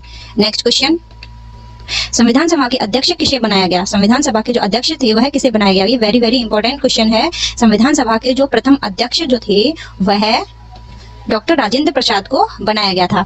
संविधान सभा के जो अध्यक्ष जो थे, वह सबसे पहले किसे बनाया गया था? डॉक्टर राजेंद्र प्रसाद को। यह स्थायी अध्यक्ष थे। इससे पहले जो डॉक्टर सच्चिदानंद थे उन्होंने उन्हें अस्थायी सदस्य के रूप में बैठाया गया था, क्योंकि वह सबसे बुज़ुर्ग व्यक्ति थे उस वक्त। लेकिन उसके बाद डॉक्टर राजेंद्र प्रसाद को संविधान सभा का मुख्य अध्यक्ष बनाया गया। नेक्स्ट क्वेश्चन संविधान सभा के निर्माण में कितना समय लगा? संविधान सभा के निर्माण में कितना समय लगा? इसका राइट आंसर है, संविधान सभा को बनने में दो साल, ग्यारह महीने और अठारह दिन लगे। तो देखिए, आपने संविधान सभा को बनने में कितना ज़्यादा टाइम लगा था। उसके बाद एक एक चीज़ जो है वह सामने आई थी। तो संविधान सभा के निर्माण में दो साल, ग्यारह माह और अठारह दिन लगे थे। इसे आप याद रखेंगे। नेक्स्ट क्वेश्चन संविधान सभा में किस प्रांत के सदस्यों ने भाग नहीं लिया था? संविधान सभा में कौन सा प्रांत था जिसके सदस्यों ने भाग नहीं लिया था? तो इसका सही आंसर होगा हैदराबाद। हैदराबाद ने संविधान सभा में सदस्य के रूप में भाग नहीं लिया था। नेक्स्ट क्वेश्चन है। प्रथम बार संविधान सभा की बैठक जो है वह कब हुई थी? सबसे पहली बार संविधान की बैठक कब हुई थी? तो इसका सही आंसर होगा 9 दिसंबर 1946 को संविधान सभा की सबसे पहली बैठक हुई थी। सबसे पहली बैठक कब हुई थी? 9 दिसंबर 1946 को। और जो संविधान सभा के जो अध्यक्ष थे वह किसे बनाया गया था? डॉक्टर राजेंद्र प्रसाद को। नेक्स्ट क्वेश्चन संविधान सभा की प्रथम बैठक कहाँ हुई थी? संविधान सभा की सबसे पहली जो बैठक है वह कहाँ हुई थी? तो जो बैठक है वह सबसे पहले लोकसभा के सेंट्रल हॉल में हुई थी। कहाँ हुई थी? लोकसभा के सेंट्रल हॉल में। नेक्स्ट क्वेश्चन पाकिस्तान जाने वाले सदस्यों ने स्वयं को हिंदुस्तान संविधान सभा से कब अलग किया? वह इसके बाद संविधान सभा में कितने सदस्य बच गए थे? स्टार्टिंग में जब संविधान सभा में सदस्य इकट्ठे हुए थे, तब तीन सौ नवासी सदस्य जो थे, वह चुने गए थे। लेकिन जब इंडिया और भारत का विभाजन हुआ था तो जो कुछ सदस्य जो थे, वह पाकिस्तान चले गए थे। तो उसके बाद जो सदस्य संख्या थी, वह दो सौ निन्यानवे सदस्य जो वह रह गए थे। तो आपको ये याद रखना है कि पहले तीन सौ नवासी थे और उसके बाद जब पाकिस्तान अलग हो गया, उसके बाद यह दो सौ निन्यानवे सदस्य रह गए थे। और जो संविधान सभा को से जब सदस्यों को अलग किया गया था तो वह डेट थी तीन जून उन्नीस सौ सैंतालीस। नेक्स्ट क्वेश्चन संविधान सभा ने अपना काम कितनी समितियों में बांट लिया था? संविधान सभा ने अपना कार्य जो था, वह कितनी समितियों में बांटा था? तो इसका सही जवाब है सत्रह समिति। कितनी समिति? सत्रह समितियों में बांटा था। नेक्स्ट क्वेश्चन संविधान सभा की प्रारूप समिति के अध्यक्ष कौन थे? जो ड्राफ्ट कमेटी के जो अध्यक्ष थे, वह कौन थे? तो ये क्वेश्चन जो है, वह बहुत ज़्यादा इंपॉर्टेंट है। इस पर स्टार्ट लगा लेंगे आप। तो संविधान सभा की प्रारूप समिति के अध्यक्ष जो थे, वह डॉक्टर भीमराव अंबेडकर थे। नेक्स्ट क्वेश्चन संविधान सभा को अंगीकृत कब किया गया? संविधान सभा को अंगीकृत जो है वह कब किया गया था? सॉरी संविधान सभा को नहीं सम, अपने जो संविधान है उसे अंगीकृत कब किया गया था? तो उसे अंगीकृत जो है वह 26 नवंबर उन्नीस सौ उनचास को किया गया था। नेक्स्ट क्वेश्चन संविधान को लागू कब किया गया था? तो देखिए, ये दोनों क्वेश्चन जो है, वह अलग अलग हैं। ये इन्हें आप एक नहीं करेंगे। जब आपसे पूछा जाएगा कि संविधान को अंगीकृत कब किया था तो आपका आंसर होगा 26 नवंबर उन्नीस सौ उनचास। कब किया गया था? 26 नवंबर उन्नीस सौ उनचास। लेकिन अपने संविधान को लागू जो है, वह छब्बीस जनवरी उन्नीस सौ पचास को किया गया था, जिसे गणतंत्र दिवस के रूप में हम मनाते हैं। नेक्स्ट क्वेश्चन संविधान सभा में राजस्थान से आने वाले प्रमुख सदस्य कौन कौन से थे? तो चूँकि आप राजस्थान लेवल पर एग्ज़ाम देंगे तो आपको ये पता होना चाहिए कि हमारी संविधान सभा में जो राजस्थान से जो लोग गए थे, जो सदस्य गए थे, उनके नाम क्या क्या थे? तो चलिए उनके नाम हम पढ़ लेते हैं।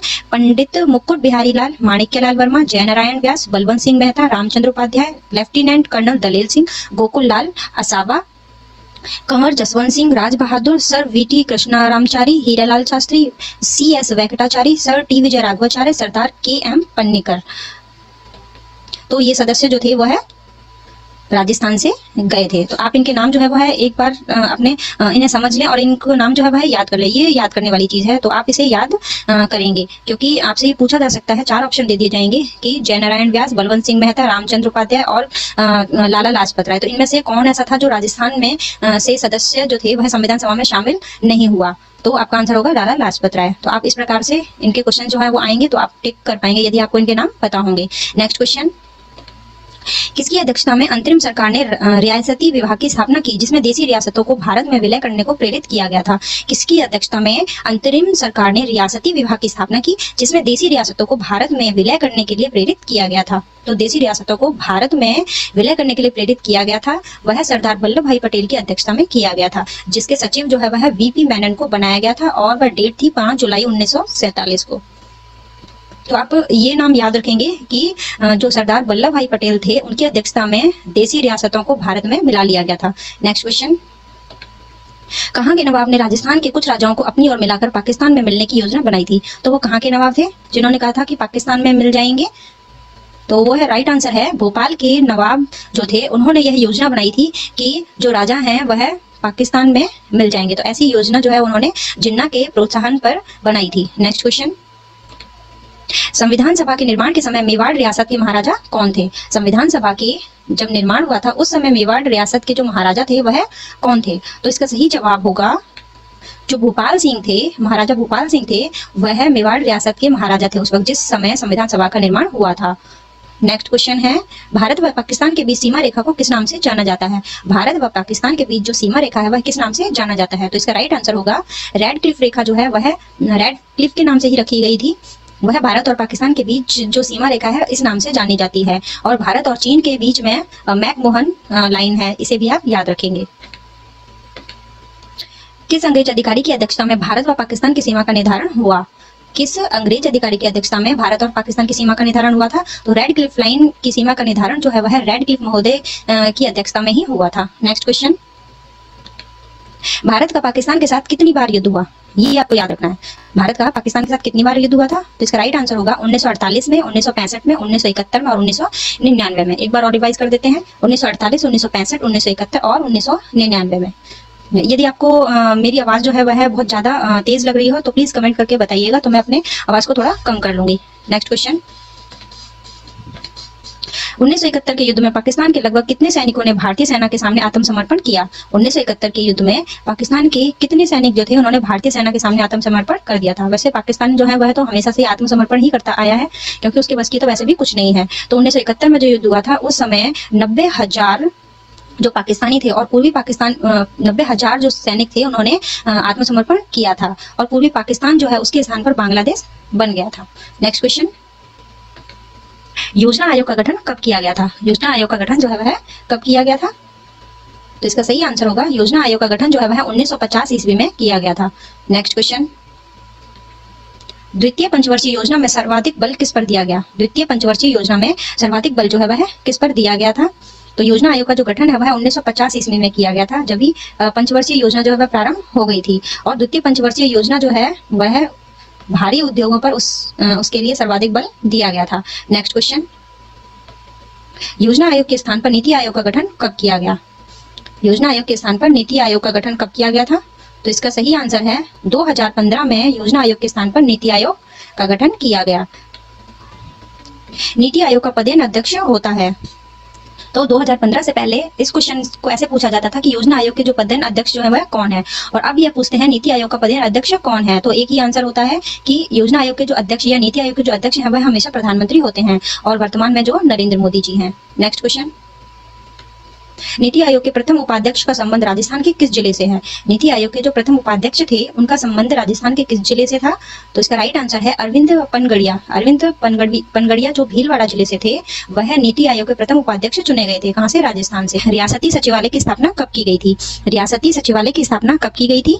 तो इसका राइट आंसर होगा, रियासती सचिवालय की स्थापना पाँच जुलाई उन्नीस सौ सैंतालीस को की गई थी। कब की गई थी? पाँच जुलाई उन्नीस सौ सैंतालीस को। नेक्स्ट क्वेश्चन रियासती सचिवालय में सचिव किसे बनाया गया था? पाँच जुलाई उन्नीस को रियासती सचिवालय की स्थापना की गई थी। तो उस वक्त जो सचिव है, वह किन्हें बनाया गया था? वीपी मैनन को बनाया गया था। किसे बनाया गया था? वीपी मैनन को बनाया गया था। नेक्स्ट क्वेश्चन करेंगे। जुलाई उन्नीस को ब्रिटिश सर्वोच्चता समाप्त होने के बाद कितनी रियासतें व ठिकाने थे? जब ब्रिटिश सर्वोच्चता समाप्त हो गई थी उन्नीस के बाद तो कितनी रियासतें व ठिकाने थे? तो इसका राइट आंसर होगा कि आज़ादी से पहले भारत में पाँच बासठ रियासतें थी और उन्नीस सौ सैंतालीस के बाद जब ब्रिटिश सर्वोच्चता समाप्त हो गई थी तो 19 रियासतें और तीन ठिकाने थे। तीन ठिकाने कौन से थे? नीमराना कुशलगढ़ और लावा। आ, कितने थे? तीन ठिकाने। तो इनको आप है ना तो एक ट्रिक से भी याद रख सकते हैं। जैसे ये नीमराना कुशलगढ़ और लावा ये थोड़ा टिपिकल नेम है। तो इसे आप नकल ट्रिक से याद रख सकते हैं। ना से नीमराना का से कुशलगढ़ और ला से लावा यानी नकल। नेक्स्ट क्वेश्चन राजस्थान के एकीकरण के समय केंद्र शासित प्रदेश कौन कौन से थे? राजस्थान का जब एकीकरण हुआ था तो उस समय केंद्र शासित प्रदेश जो थे वो कौन कौन से थे? दो थे अजमेर और मेरवाड़ा। केंद्र शासित प्रदेश जो थे वो है, दो थे अजमेर और मेरवाड़ा। नेक्स्ट क्वेश्चन एकीकरण के समय जो सबसे पहले हस्ताक्षर जो थे वह किसने किए थे? एकीकरण के समय जो प्रथम हस्ताक्षर थे वह किसने किए थे? तो इसका सही आंसर होगा, अलवर के जो महाराज तेज सिंह थे, उन्होंने सबसे पहले हस्ताक्षर किए थे। नेक्स्ट क्वेश्चन किस समिति के द्वारा अजमेर मेरवाड़ा को एक नवंबर उन्नीस सौ छप्पन में जब राजस्थान का एकीकरण हुआ था, उस चरण में शामिल किया गया था। तो अजमेर मेरवाड़ा जो केंद्र शासित प्रदेश थे, उन्हें एक नवंबर उन्नीस सौ छप्पन को राजस्थान के एकीकरण के जो चरण में शामिल किया गया था, वह फैजल अली समिति के द्वारा किया गया था। इसे आप याद रखेंगे और आप यहाँ स्टार भी लगा लें कि फैजल अली समिति जो थी, उसकी सिफारिश पर ही अजमेर मेरवाड़ा केंद्र शासित प्रदेशों को एक नवंबर उन्नीस में राजस्थान के चरण में शामिल किया गया था। नेक्स्ट क्वेश्चन मत्स्य संघ को मत्स्य संघ नाम किसने दिया था? तो मत्स्य संघ को मत्स्य संघ नाम जो है वह के एम मुंशी ने दिया था। किसने दिया था? के एम मुंशी ने। नेक्स्ट क्वेश्चन राजस्थान का एकीकरण जो है वह कितने चरणों में पूरा हुआ था? राजस्थान का एकीकरण कितने चरणों में पूरा हुआ था? तो इसका सही जवाब है, राजस्थान का एकीकरण जो है वह सात चरणों में पूरा हुआ था। कितने चरणों में? सात चरणों में पूरा हुआ था। नेक्स्ट क्वेश्चन मत्स्य संघ कब बना व इसमें कौन सी रियासतें शामिल थी? सात चरणों में सबसे पहले मत्स्य संघ बना। तो इसमें जो कौन सी रियासतें शामिल थी? मत्स्य संघ में अलवर, भरतपुर, करौली और धौलपुर शामिल थे और यह 18 मार्च उन्नीस सौ अड़तालीस को बना था। ये वेरी वेरी इंपॉर्टेंट क्वेश्चन है और आपसे ये सात जो चरणों में एकीकरण हुआ था राजस्थान का तो आपको हर एक चरण के बारे में पता होना चाहिए कि सचिव प्रधानमंत्री कौन बनाया गया था और यह कब बना था और इसके अलावा इसमें कौन सी रियासतें शामिल थी। तो फ़र्स्ट पे जो मत्स्य संघ बना था, वह अठारह मार्च उन्नीस सौ अड़तालीस को बना था और इसमें अलवर, भरतपुर, करौली और धौलपुर को शामिल किया गया था। इसके अलावा राजधानी जो है, वह मत्स्य संघ की अलवर को बनाया गया था। नेक्स्ट क्वेश्चन मत्स्य संघ जब बनाया गया था तो उस समय उसके राज प्रमुख या उद्घाटन करता और प्रधानमंत्री कौन कौन थे? मत्स्य संघ के राज प्रमुख जो है, वह उदयबान उदयबान और उद्घाटन करता एन वी गॉडगिल थे। इसके अलावा प्रधानमंत्री जो है, वह शोभा राम कुमावत थे। मैंने ये क्वेश्चन जो है, वह अलग अलग थे, लेकिन इनको एक ही जगह पर रखा है। इस वजह से ताकि आपको एक ही जो एकीकरण हुआ था तो उस समय के सभी जो नाम है आपको, कि राज प्रमुख मत्स्य संघ के कौन थे उद्घाटन करता कौन थे, प्रधानमंत्री कौन थे, वह एक ही जगह पर आपको याद हो जाए। तो आपको याद रखना है कि मत्स्य संघ जो है, वह अठारह मार्च उन्नीस सौ अड़तालीस को बना था। अलवर, भरतपुर, करौली, धौलपुर जो है, मेवात इलाके उन्हें शामिल किया गया था। अलवर को राजधानी बनाया गया था। राज प्रमुख उदयमान थे। उद्घाटन करता एन वी गॉडगिल थे और प्रधानमंत्री शोभाराम कुमावत थे। और आपको ये लर्न करने ही पड़ेंगे, क्योंकि इनमें से क्वेश्चन जो है वह लास्ट ईयर भी पूछा गया था और हर साल इसमें से क्वेश्चन पूछा ही जाता है। नेक्स्ट क्वेश्चन पूर्वी राजस्थान, जो दूसरा चरण था, वह पूर्वी राजस्थान था। तो पूर्वी राजस्थान संघ कब बना था? इसमें कौन कौन सी रियासतें थी? तो पूर्वी राजस्थान संघ जो है वह पच्चीस मार्च 1948 को बना था। इसमें बांसवाड़ा, बूंदी, झालावाड़, डूंगरपुर, किशनगढ़, कोटा, प्रतापगढ़, शाहपुरा और टोंक, ये सभी शामिल थे। पूर्वी राजस्थान संघ के जो राज प्रमुख थे और उद्घाटन करता थे वह प्रधानमंत्री कौन थे? तो पूर्वी राजस्थान संघ के राज प्रमुख भीम सिंह को बनाया गया था, उद्घाटन करता एन वी गॉडगिल थे और इसके अलावा प्रधानमंत्री गोकुल दास असावा थे। तो इसे एक बार दोबारा से मैं आपको रिवाइज करवा देती हूँ कि पूर्वी राजस्थान संघ जो है, वह 25 मार्च उन्नीस सौ अड़तालीस को बनाया गया था। बांसवाड़ा, बूंदी, झालावाड़, डूंगरपुर, किशनगढ़, कोटा, प्रतापगढ़ और शाहपुरा व टोंक। ये सभी शामिल थे। कोटा जो था, उसे पूर्वी राजस्थान संघ की राजधानी बनाया गया था और जो राष्ट्र प्रमुख थे, भीम सिंह थे, उद्घाटनकर्ता एन वी गॉडगिल थे। इसके अलावा प्रधानमंत्री गोकुल दास असावा थे। नेक्स्ट वर्ड चलेंगे। संयुक्त राजस्थान कब बना था व इसमें कौन कौन सी रियासतें शामिल की गई थी? संयुक्त राजस्थान कब बना था, वह इसमें कौन कौन सी रियासतें शामिल की गई थी? तो संयुक्त राजस्थान जो है, वह तीसरा चरण जिसे कहते हैं, वह अठारह अप्रैल उन्नीस सौ अड़तालीस को बना था। इसमें पूर्वी राजस्थान के अंदर उदयपुर को शामिल कर लिया गया था। ठीक है तो यह कब बना था? 18 अप्रैल 1948 को। संयुक्त राजस्थान के समय राष्ट्र प्रमुख उद्घाटन करता हुआ प्रधानमंत्री कौन थे?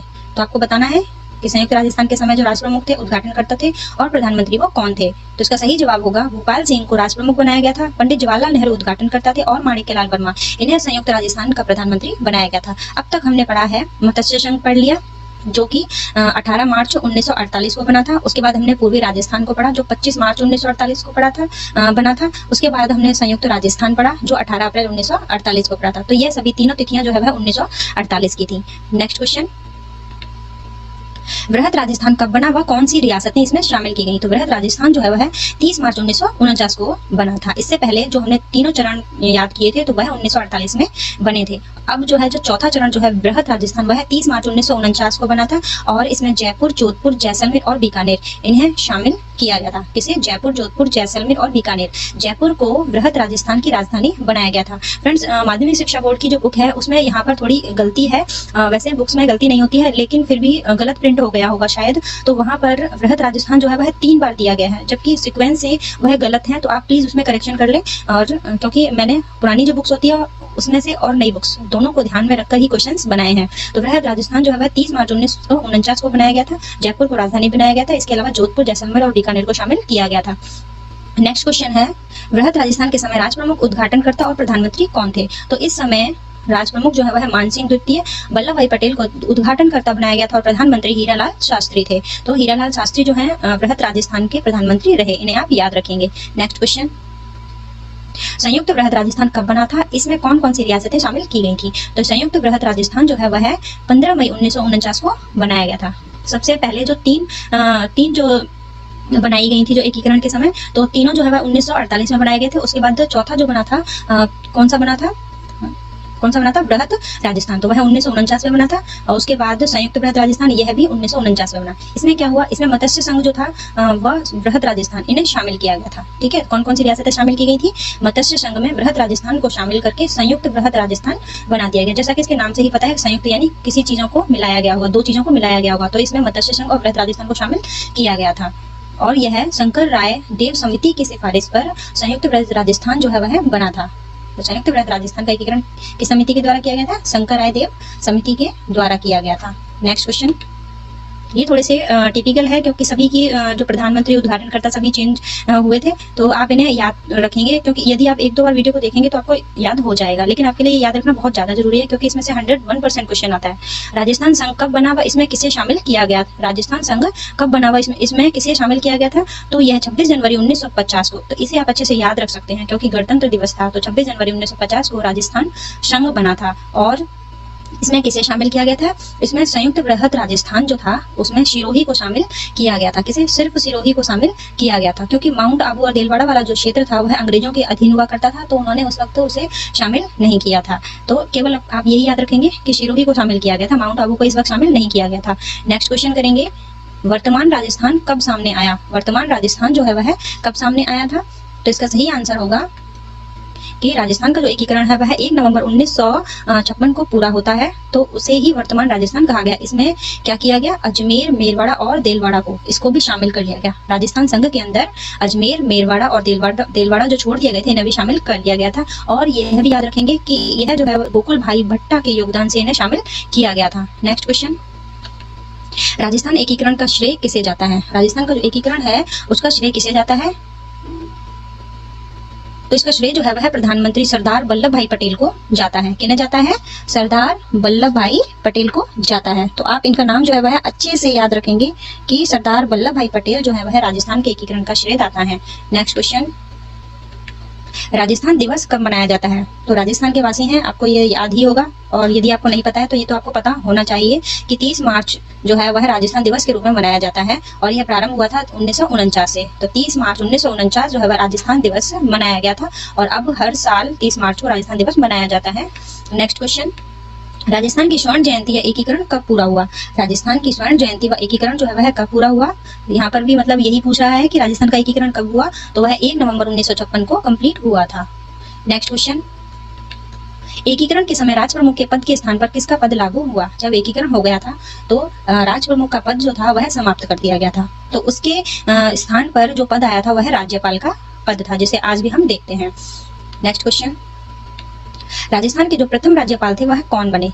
ये बहुत ज़्यादा इंपॉर्टेंट क्वेश्चन है। इस पर भी स्टार्ट लगा लें कि राजस्थान के सबसे पहले राज्यपाल जो थे, वह गुरुमुख निहाल सिंह थे। कौन थे? राजस्थान के प्रथम राज्यपाल जो है, वह गुरुमुख निहाल सिंह थे।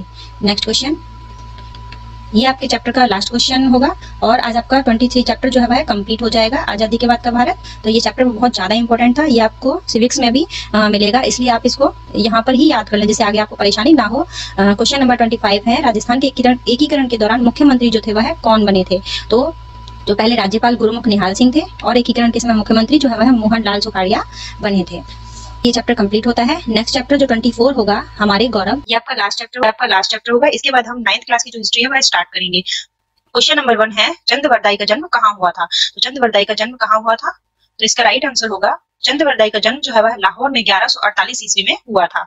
चंद्रवरदाई जो बहुत ज़्यादा फ़ेमस नाम है, जिनकी रचना जो है, वह पृथ्वीराज रासो है। तो उनका जन्म जो है, वह लाहौर में हुआ था, ग्यारह ईस्वी में। नेक्स्ट क्वेश्चन चंद्रवरदाई के पिता का क्या नाम था? चंद्रवरदाई के पिता का क्या नाम था? इसका सही जवाब है राव बैण। राव बैण जो है वह चंद्रवरदाई के पिता का नाम था। नेक्स्ट क्वेश्चन चंद्रवरदाई की प्रसिद्ध रचना का नाम क्या था? ये क्वेश्चन बहुत ज़्यादा इंपॉर्टेंट है। इस पर आप स्टार्ट लगा लें कि चंद्रवरदाई की प्रसिद्ध रचना का नाम जो है वह पृथ्वीराज रासो था। क्या था? पृथ्वीराज रासो। नेक्स्ट क्वेश्चन बृहस्फुट सिद्धांत नामक ग्रंथ की रचना किसने की थी? तो बृहस्फुट नामक सिद्धांत नामक ग्रंथ की रचना जो है वह ब्रह्मगुप्त ने की थी। किसने की थी? ब्रह्मगुप्त ने की थी। नेक्स्ट क्वेश्चन ब्रह्मगुप्त का जन्म जो है वह कहाँ हुआ था? ब्रह्मगुप्त का जन्म कहाँ हुआ था? तो ब्रह्मगुप्त का जन्म जो है वह भीनमाल जो जालौर में पड़ता है, वहाँ पाँच सौ अट्ठानवे ईस्वी में हुआ था। नेक्स्ट क्वेश्चन खंड खाद्यकम नामक ग्रंथ की रचना किसने की थी? खंड खाद्यकम नामक ग्रंथ की रचना जो है वह किसने की थी? तो खंड खाद्यकम नामक ग्रंथ की रचना जो है वह ब्रह्मगुप्त ने की थी। नेक्स्ट क्वेश्चन तो आपको ब्रह्मगुप्त के दो रचनाओं के नाम याद रखने हैं। एक तो ब्रह्मस्फुट ब्रह्म स्फुट और खंड खाद्यकम इन दोनों की रचना जो है ब्रह्मगुप्त ने की थी। ब्रह्मगुप्त ने ग्रंथों का किस किस भाषा में अनुवाद किया था? ब्रह्मगुप्त ने ग्रंथों का जो अनुवाद है किस भाषा में किया था? तो इसका राइट आंसर है अरबी और फारसी भाषा का उन्होंने अनुवाद किया था। नेक्स्ट क्वेश्चन ब्रह्मगुप्त का विशेष योगदान किस क्षेत्र में रहा? ब्रह्मगुप्त का जो योगदान है वह किस क्षेत्र में रहा? तो उनका योगदान जो है वह ज्यामिति क्षेत्र में रहा। इसमें रहा? ज्यामिति क्षेत्र में। नेक्स्ट क्वेश्चन पर चलेंगे। शल्य चिकित्सा के जनक किसे कहा जाता है? शल्य चिकित्सा के जनक जो है वह किसे कहा जाता है? इसका राइट आंसर होगा, शल्य चिकित्सा के जनक जो है वह महर्षि सुश्रुत को कहा जाता है। महर्षि सुश्रुत को शल्य चिकित्सा के जनक कहा जाता है। नेक्स्ट क्वेश्चन महर्षि सुश्रुत किस ऋषि के वंशज थे? जो महर्षि सुश्रुत, जिन्हें शल्य चिकित्सा का जनक कहा जाता है, वह विश्वामित्र ऋषि के वंशज थे। नेक्स्ट क्वेश्चन महर्षि सुश्रुत द्वारा रचित प्रसिद्ध ग्रंथ का क्या नाम है? राइट आंसर है, सुश्रुत संहिता, जो कि इनके नाम से ही आपको लर्न हो जाएगी कि महर्षि सुश्रुत द्वारा सुश्रुत संहिता जो है, वह उस ग्रंथ को रचा गया था। नेक्स्ट क्वेश्चन श्रीनिवास रामानुज का जन्म कब हुआ था? श्रीनिवास रामानुज का जन्म कब हुआ था? तो इसका राइट आंसर है, श्रीनिवास रामानुज का जन्म तमिलनाडु के इरोड नगर में 22 दिसंबर अठारह ईस्वी में हुआ था।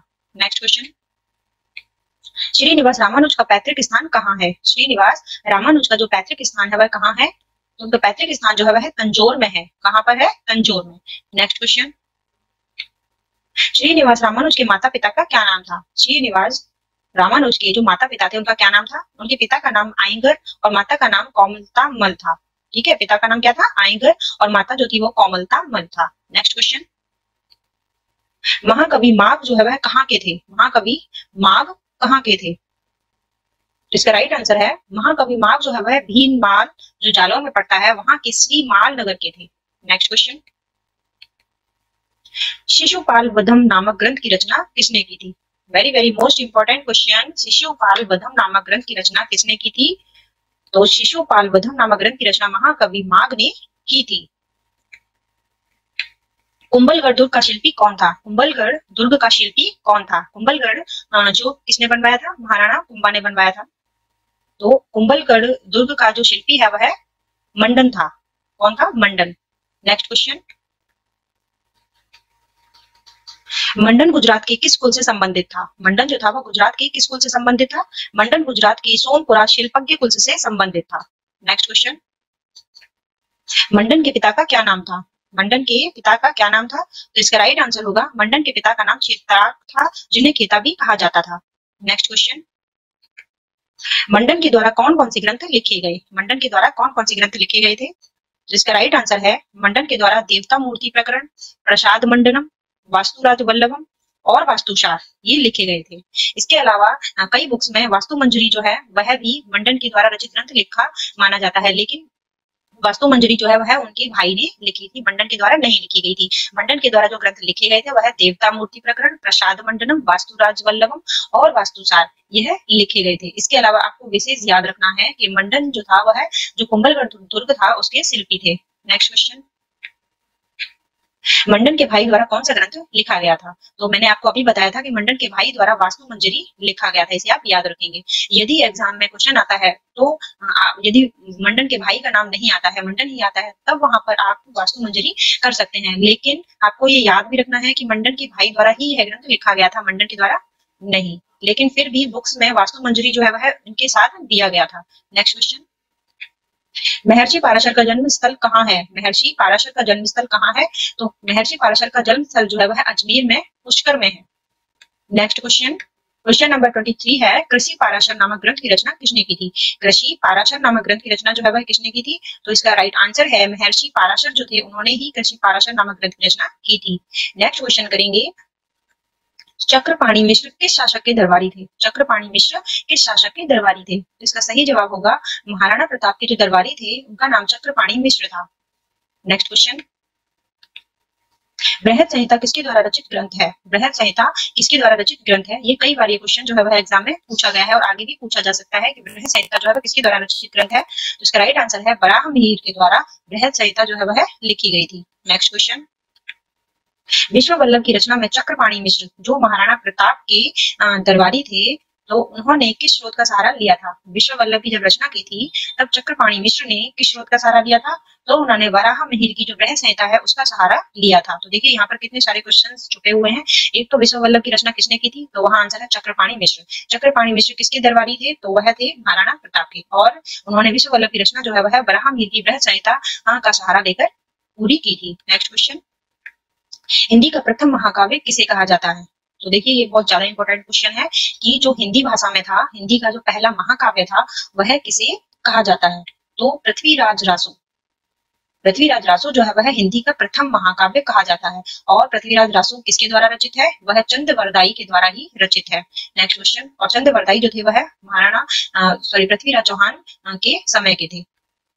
भूमिगत जलयान बताने वाले हरवा का उल्लेख किसने किया? भूमिगत जो जलयान होता है, वह, यानी भूमि के अंदर जो जलयान होता है, वह बताने वाले हरवा शब्द जो है, उसका उल्लेख किसने किया? तो उसका उल्लेख जो है, वह चक्रपाणी मिश्र ने किया था। किसने किया था? चक्रपाणी मिश्र, ये वही है जो महाराणा प्रताप के दरबारी थे और इन्होंने विश्व वल्लभ की रचना जो है, वह वराह की वृह संहिता का सहारा लेके किया था।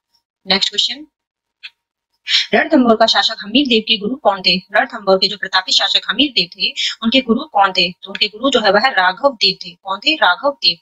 नेक्स्ट क्वेश्चन सारंगधर संहिता के पिता का नाम क्या था? सारंगधर के पिता का नाम क्या था? तो सारंगधर के पिता का नाम जो है वह दामोदर था। क्या था सारंगधर के पिता का नाम? दामोदर। नेक्स्ट क्वेश्चन हमीर रासो की रचयिता कौन थे? हमीर रासो की रचयिता कौन थे? हमीर रासो के रचयिता जो थे, वो है सारंगधर थे। यह आपको याद रखना है। अमीर रासो की रचयिता जो है वह सारंगधर थे। नेक्स्ट क्वेश्चन सारंगधर संहिता की रचयिता कौन है? सारंगधर संहिता के जो रचयिता है वह कौन है?